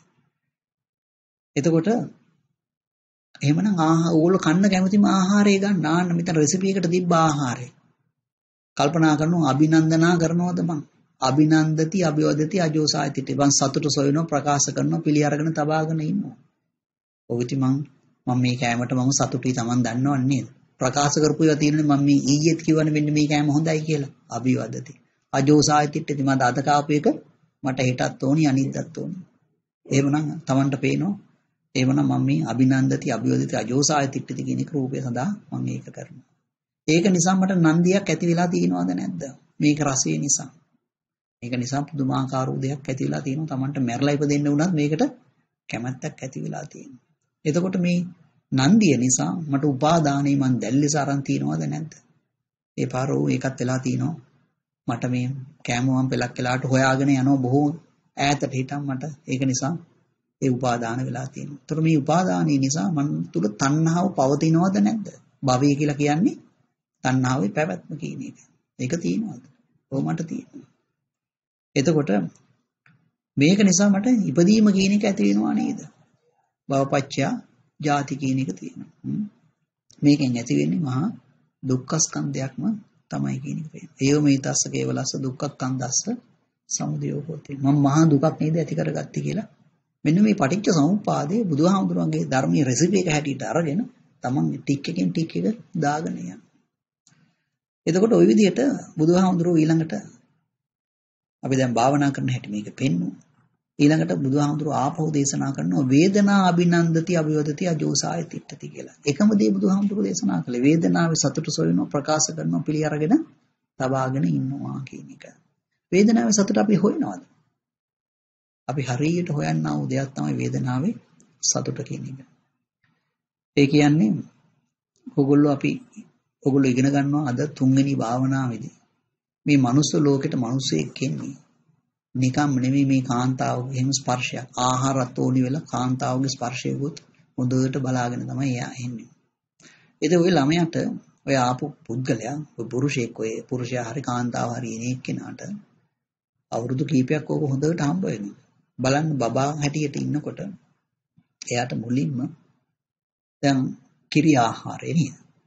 ඒ ආහාරය සම්පූර්ණ වූ ආහාරයක් නෙවෙයි. දැන් බලන්න අපි කන ආහාරය අද මේ වට්ටක්ක මේ බ්‍රොකොලි, කෝලිෆ්ලවර් අරවයි මේවා ඉතින් ඕවා පිහියක් අරන් කපන්න ඕනි හයිය හත්තිය තියෙන දේවල් නේද? අතින් කරගන්නත් බෑනේ. ඒක තම්බලා උයලා ಜಾති හතරක් පහක් දාගන්න ඕනේ අපේ කෑම වේල හදාගන්න. එතකොට අර දරුවට එහෙම නැහැ. මේ soft milk එකක් බොහෝම පහසුවෙන් බඩ ඇතුළටත් යනවා. ඒ වගේ බේත් හිටන් තියනවා කියනවනේ. එතකොට එහෙනම් එයාගේ ආහාර වශයෙන් එයාගේ සම්පූර්ණ කටට හම්බ වෙන්නා උදේ. ඊළඟට ආපහු ඕගලන්ට පේනවා දෙවිනියට අම්මගේ ඒ බ්‍රෙස්ට් එක කියන එක මෙයාගේ කට ඇතුලේ තියෙන්නේ. ඒතර මෙයාට තියෙනවා අර සූතින් ඉෆෙක්ට් එක. සූප් පූර්ණනවා වගේ. ඒතර තනපුඩු උර උර එයාට එතන සැප දෙකයි. තුන්වෙනිවට ගත්තාම මෙයාගේ කය අම්මගේ කයත් එක්ක ස්පර්ශ වෙනවා. දැන් ওই බබාලට ඕගොල්ලෝ හරි කැමතියිනේ. මොකද බබාලට කැමති වෙලා තියෙන්නේ. බබාලට මිනිස්සු කැමති වෙලා තියෙන මිනිස්සු හිතන්නේ මේ බබාටයි ආදරේ කියලා ගත්තාම Taman තමයි ආදරේ. මොකද බබාගේ ඇඟ හරි මෘදුයි, soft. ඒ ස්කින් එකනේ. ඒක තමයි වඩා ගත්තාම Tamanට ඇඟේ ගෑවෙනකොට Tamanට සැපක් තියෙනවා. ඒක නිසා තමයි අපි ඕකට වෙලා තියෙන්නේ. එතකොට ඕගොල්ලන්ට යම් කිසි විදිහකට බබෙක් වඩා ගත්තාම සැපක් තියෙනවද? ඊට වඩා ගොඩාක් සැපක් බබාට දැනෙනවා. මොකද එයාගේ හැම මෘදුයි. මුරුදු නිසා අර අම්මගෙන් ඇති වෙන උෂ්ණය, වෝමත් එක ඒ වගේම අර ශරීරයත් එක්ක ස්පර්ශ වීමෙන් ඇති වෙන සැප ඒව ගොඩාක් යට තියෙනවා. දැන් තුනයි. හතර වෙනකොට අම්මා කරුණාවන්ත ඇස් දෙකකින් අර බබා දිහා බලාගෙන ඉන්නවා. ඉතින් ඕගලන්ට එහෙම එකක් හම්බ වෙනවද? කවුරු හරි අද ඕගලන්ට කන්නක් දීලා කරුණාවන්ත ඇස් දෙකකින් කනකම් බලාගෙනත් ඉන්නවද? නෑ නේද? ඊළඟට පස්වෙනි කාරණට ඕගලන්ට පේනවා අම්මා හොඳ ලලබායි එකක් හොඳ සින්දුවක් ගීතයක් කියනවා කනටත් හොඳයි. දැන් එහෙමනම් සැප පහයි.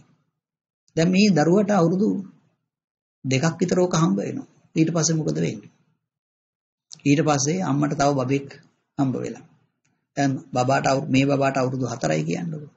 දැන් අම්මා මොකද කරන්නේ? අලයි, බතුයි, අරවයි මේවයි තම්බලා මේ අල තම්බලා පොඩි කරලා මේසෙක මෙයාව වාඩි කරලා පුතා කන්න කියනවා. මෙයා දැන් ඉතින් ලාවුලු ගාගෙන වගේ මේ හැම තැනම ගාගෙන මෙයාට පේනවා මට ඉස්සර වගේ සැපක් ඇත්තේ නැහැ. නිතරම බලන්නේ අම්මගේ අතට එන්න පුළුවන්ද කියලා නේ. එන්න විදියක් නැහැ. එතන නංගි මල්ලියෙක් ඉන්නේ. අන්න එයාට මිස්සෙන්න පටන් ගත්තා. ඊට පස්සේ අවුරුදු 10ක් විතර වෙනකොට 8ක් 10ක් වෙනකොට අම්ම වැඩි අතපත ගන්නෑ. ස්පර්ශය අයින් වෙනවා. අවුරුදු 20ක් විතර වෙනකොට අම්මගේ අතපත ගෑවිලා නැත්තරම් නැති වෙලා ගිහිල්ලා නේද? එතකොට මේ විදිහට තමයි අර ස්පර්ශයේ වේදනාව කියන එක Tamanට පතාගෙන ආව. ඔන්න ටිකක් කල් හම්බ වුණා. ඊට පස්සේ අවුරුදු 20ක් විතර වෙනකොට මේක නෑ. ඊළඟට බලන්න මේ කවුරු හරි කෙනෙක් අවුරුදු 20ක් විතර වෙනකොට යන්තම් මෙහෙම ස්පර්ශ කරලා යනවා. ඕක හිතේ තියාගෙන මතක තියාගෙන වයසට ගිහිල්ලා හැමත් රැලි වැටලා අර ස්පර්ශයේ පතන. ඒක හම්බ වෙනවා. ඒක හම්බ වෙන්නේ නැහැ රැලි වැටුණාට පස්සේ ඒක අර විදිහට හම්බ වෙන්නේ. නමුත් පතනවා කියන එක නම් තියෙනවා.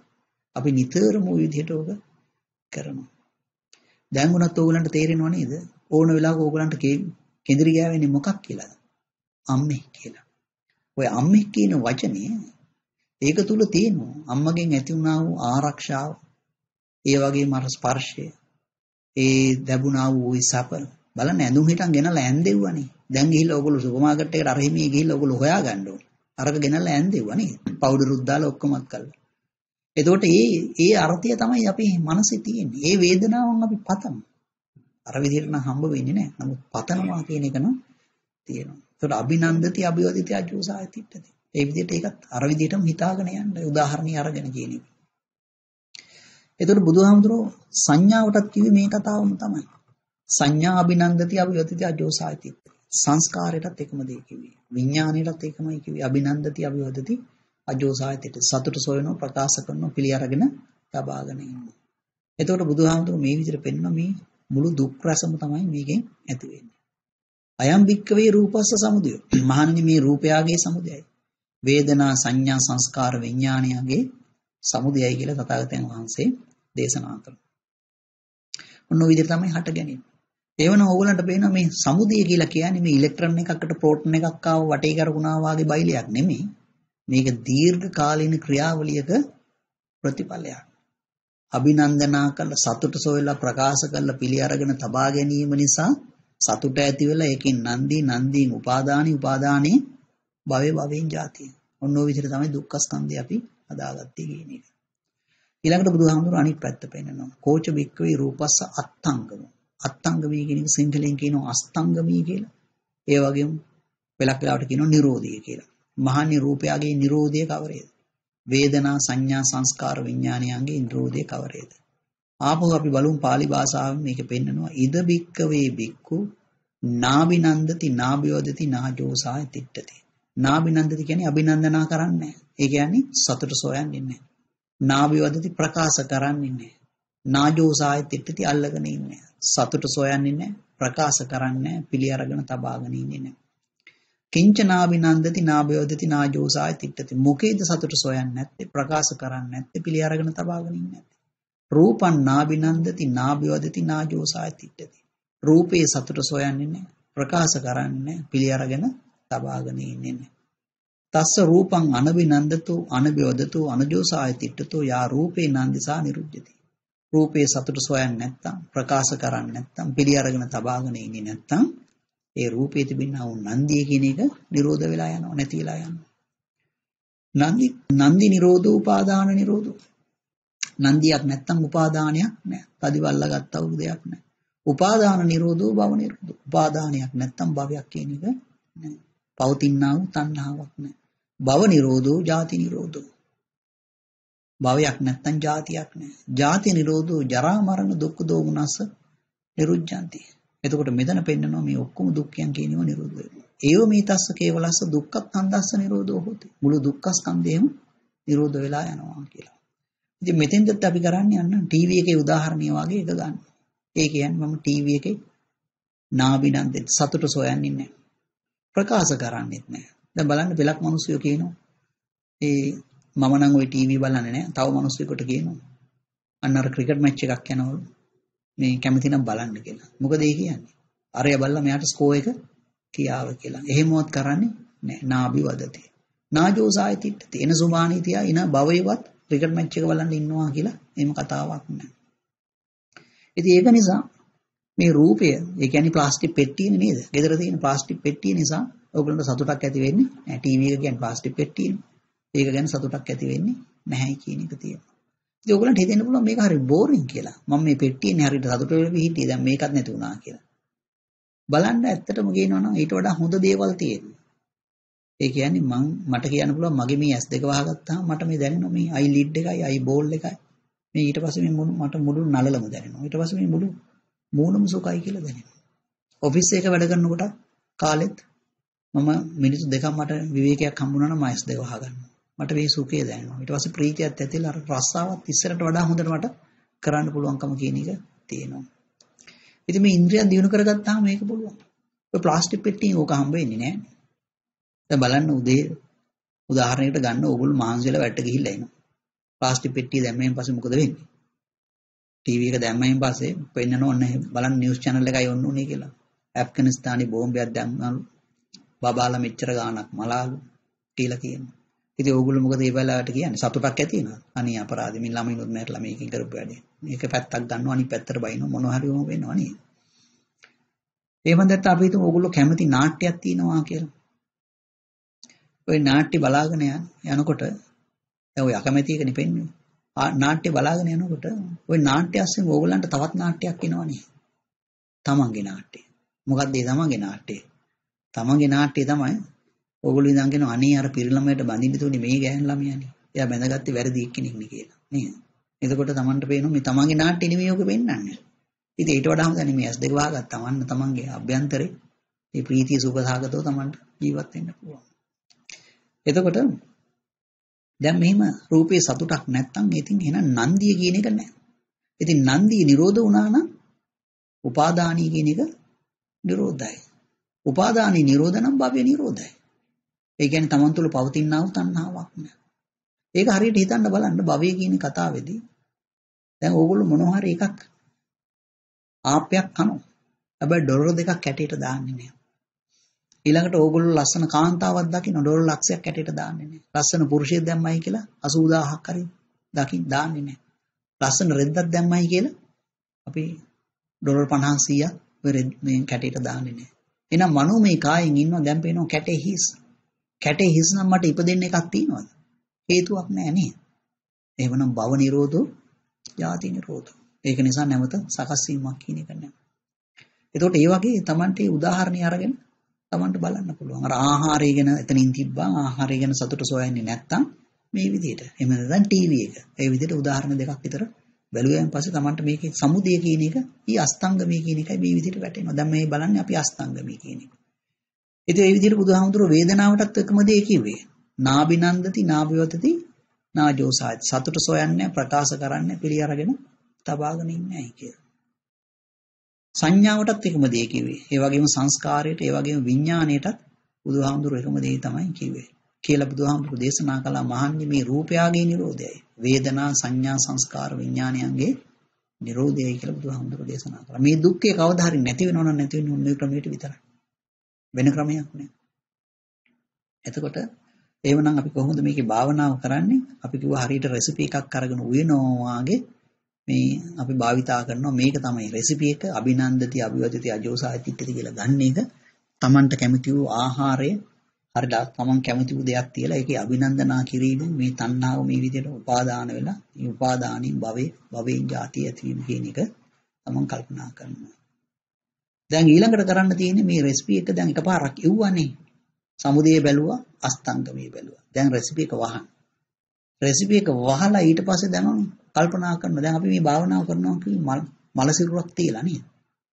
දැන් තමන් මල සිරුරක් තිබි ಜಾති ජරා ಜಾතිය බලාගෙන ආවා. අපාය දිරසන් ලෝකේ වාගියව. කෙටියෙන් බලාගෙන යනවා තමන්ගේ තැන් තැන් වල ඉපදුනා නම් දුකයි කියන එක. ජරාව බැලුවා. ඊළඟට ව්‍යාධියට ආව ලෙඩ කවුරු හරි මැරලා මේ අසනීප වෙලා ඉන්නවා කල්පනා කරනවා මගේ ශරීරයත් මේ ආකාරයි කියන එක තමන් කල්පනා කරනවා මේ විදිහට ලෙඩ හැදෙනවා කියලා. කැන්සර් හැදිලා තියෙනවනම් මේක තමන්ගේ ශරීරයටත් උච්චරමයි කැන්සර් හැදෙනවා. අනිත්‍යයට තියෙන ලෙඩ නිතරම හිතන්නේ. මටත් ওই தත්ත්වෙපත් වෙන්න පුළුවන් කියන එක. නැත්තම් අපි වෙන්නේ මොකද්ද? අපි අර අපි නිතරම මදයකට යනවා. මදේ මොකද්ද? අරයා මැරෙනවා මම ඉන්නවා කියන එක. ලෙඩා දිහා කල්පනා කරාම නිතරම හිතන්න මට ඕක හැදෙනවා කියලා. ඉතින් අර ලෙඩ රෝග පොඩ්ඩක් කල්පනා කරලා ඊළඟට අපි මරණයට ආවා. මරණයේදී මොකද කරන්නේ? මල සිරුරක් දැක්කම දවස් දෙකක් තුනක් ඒ විදිහට ගත වෙච්ච මල සිරුර. තමන් එතනින් තමන්ගේ ශරීරයත් මමත් මැරිලා කියලා එතනින් නිදි කරනවා.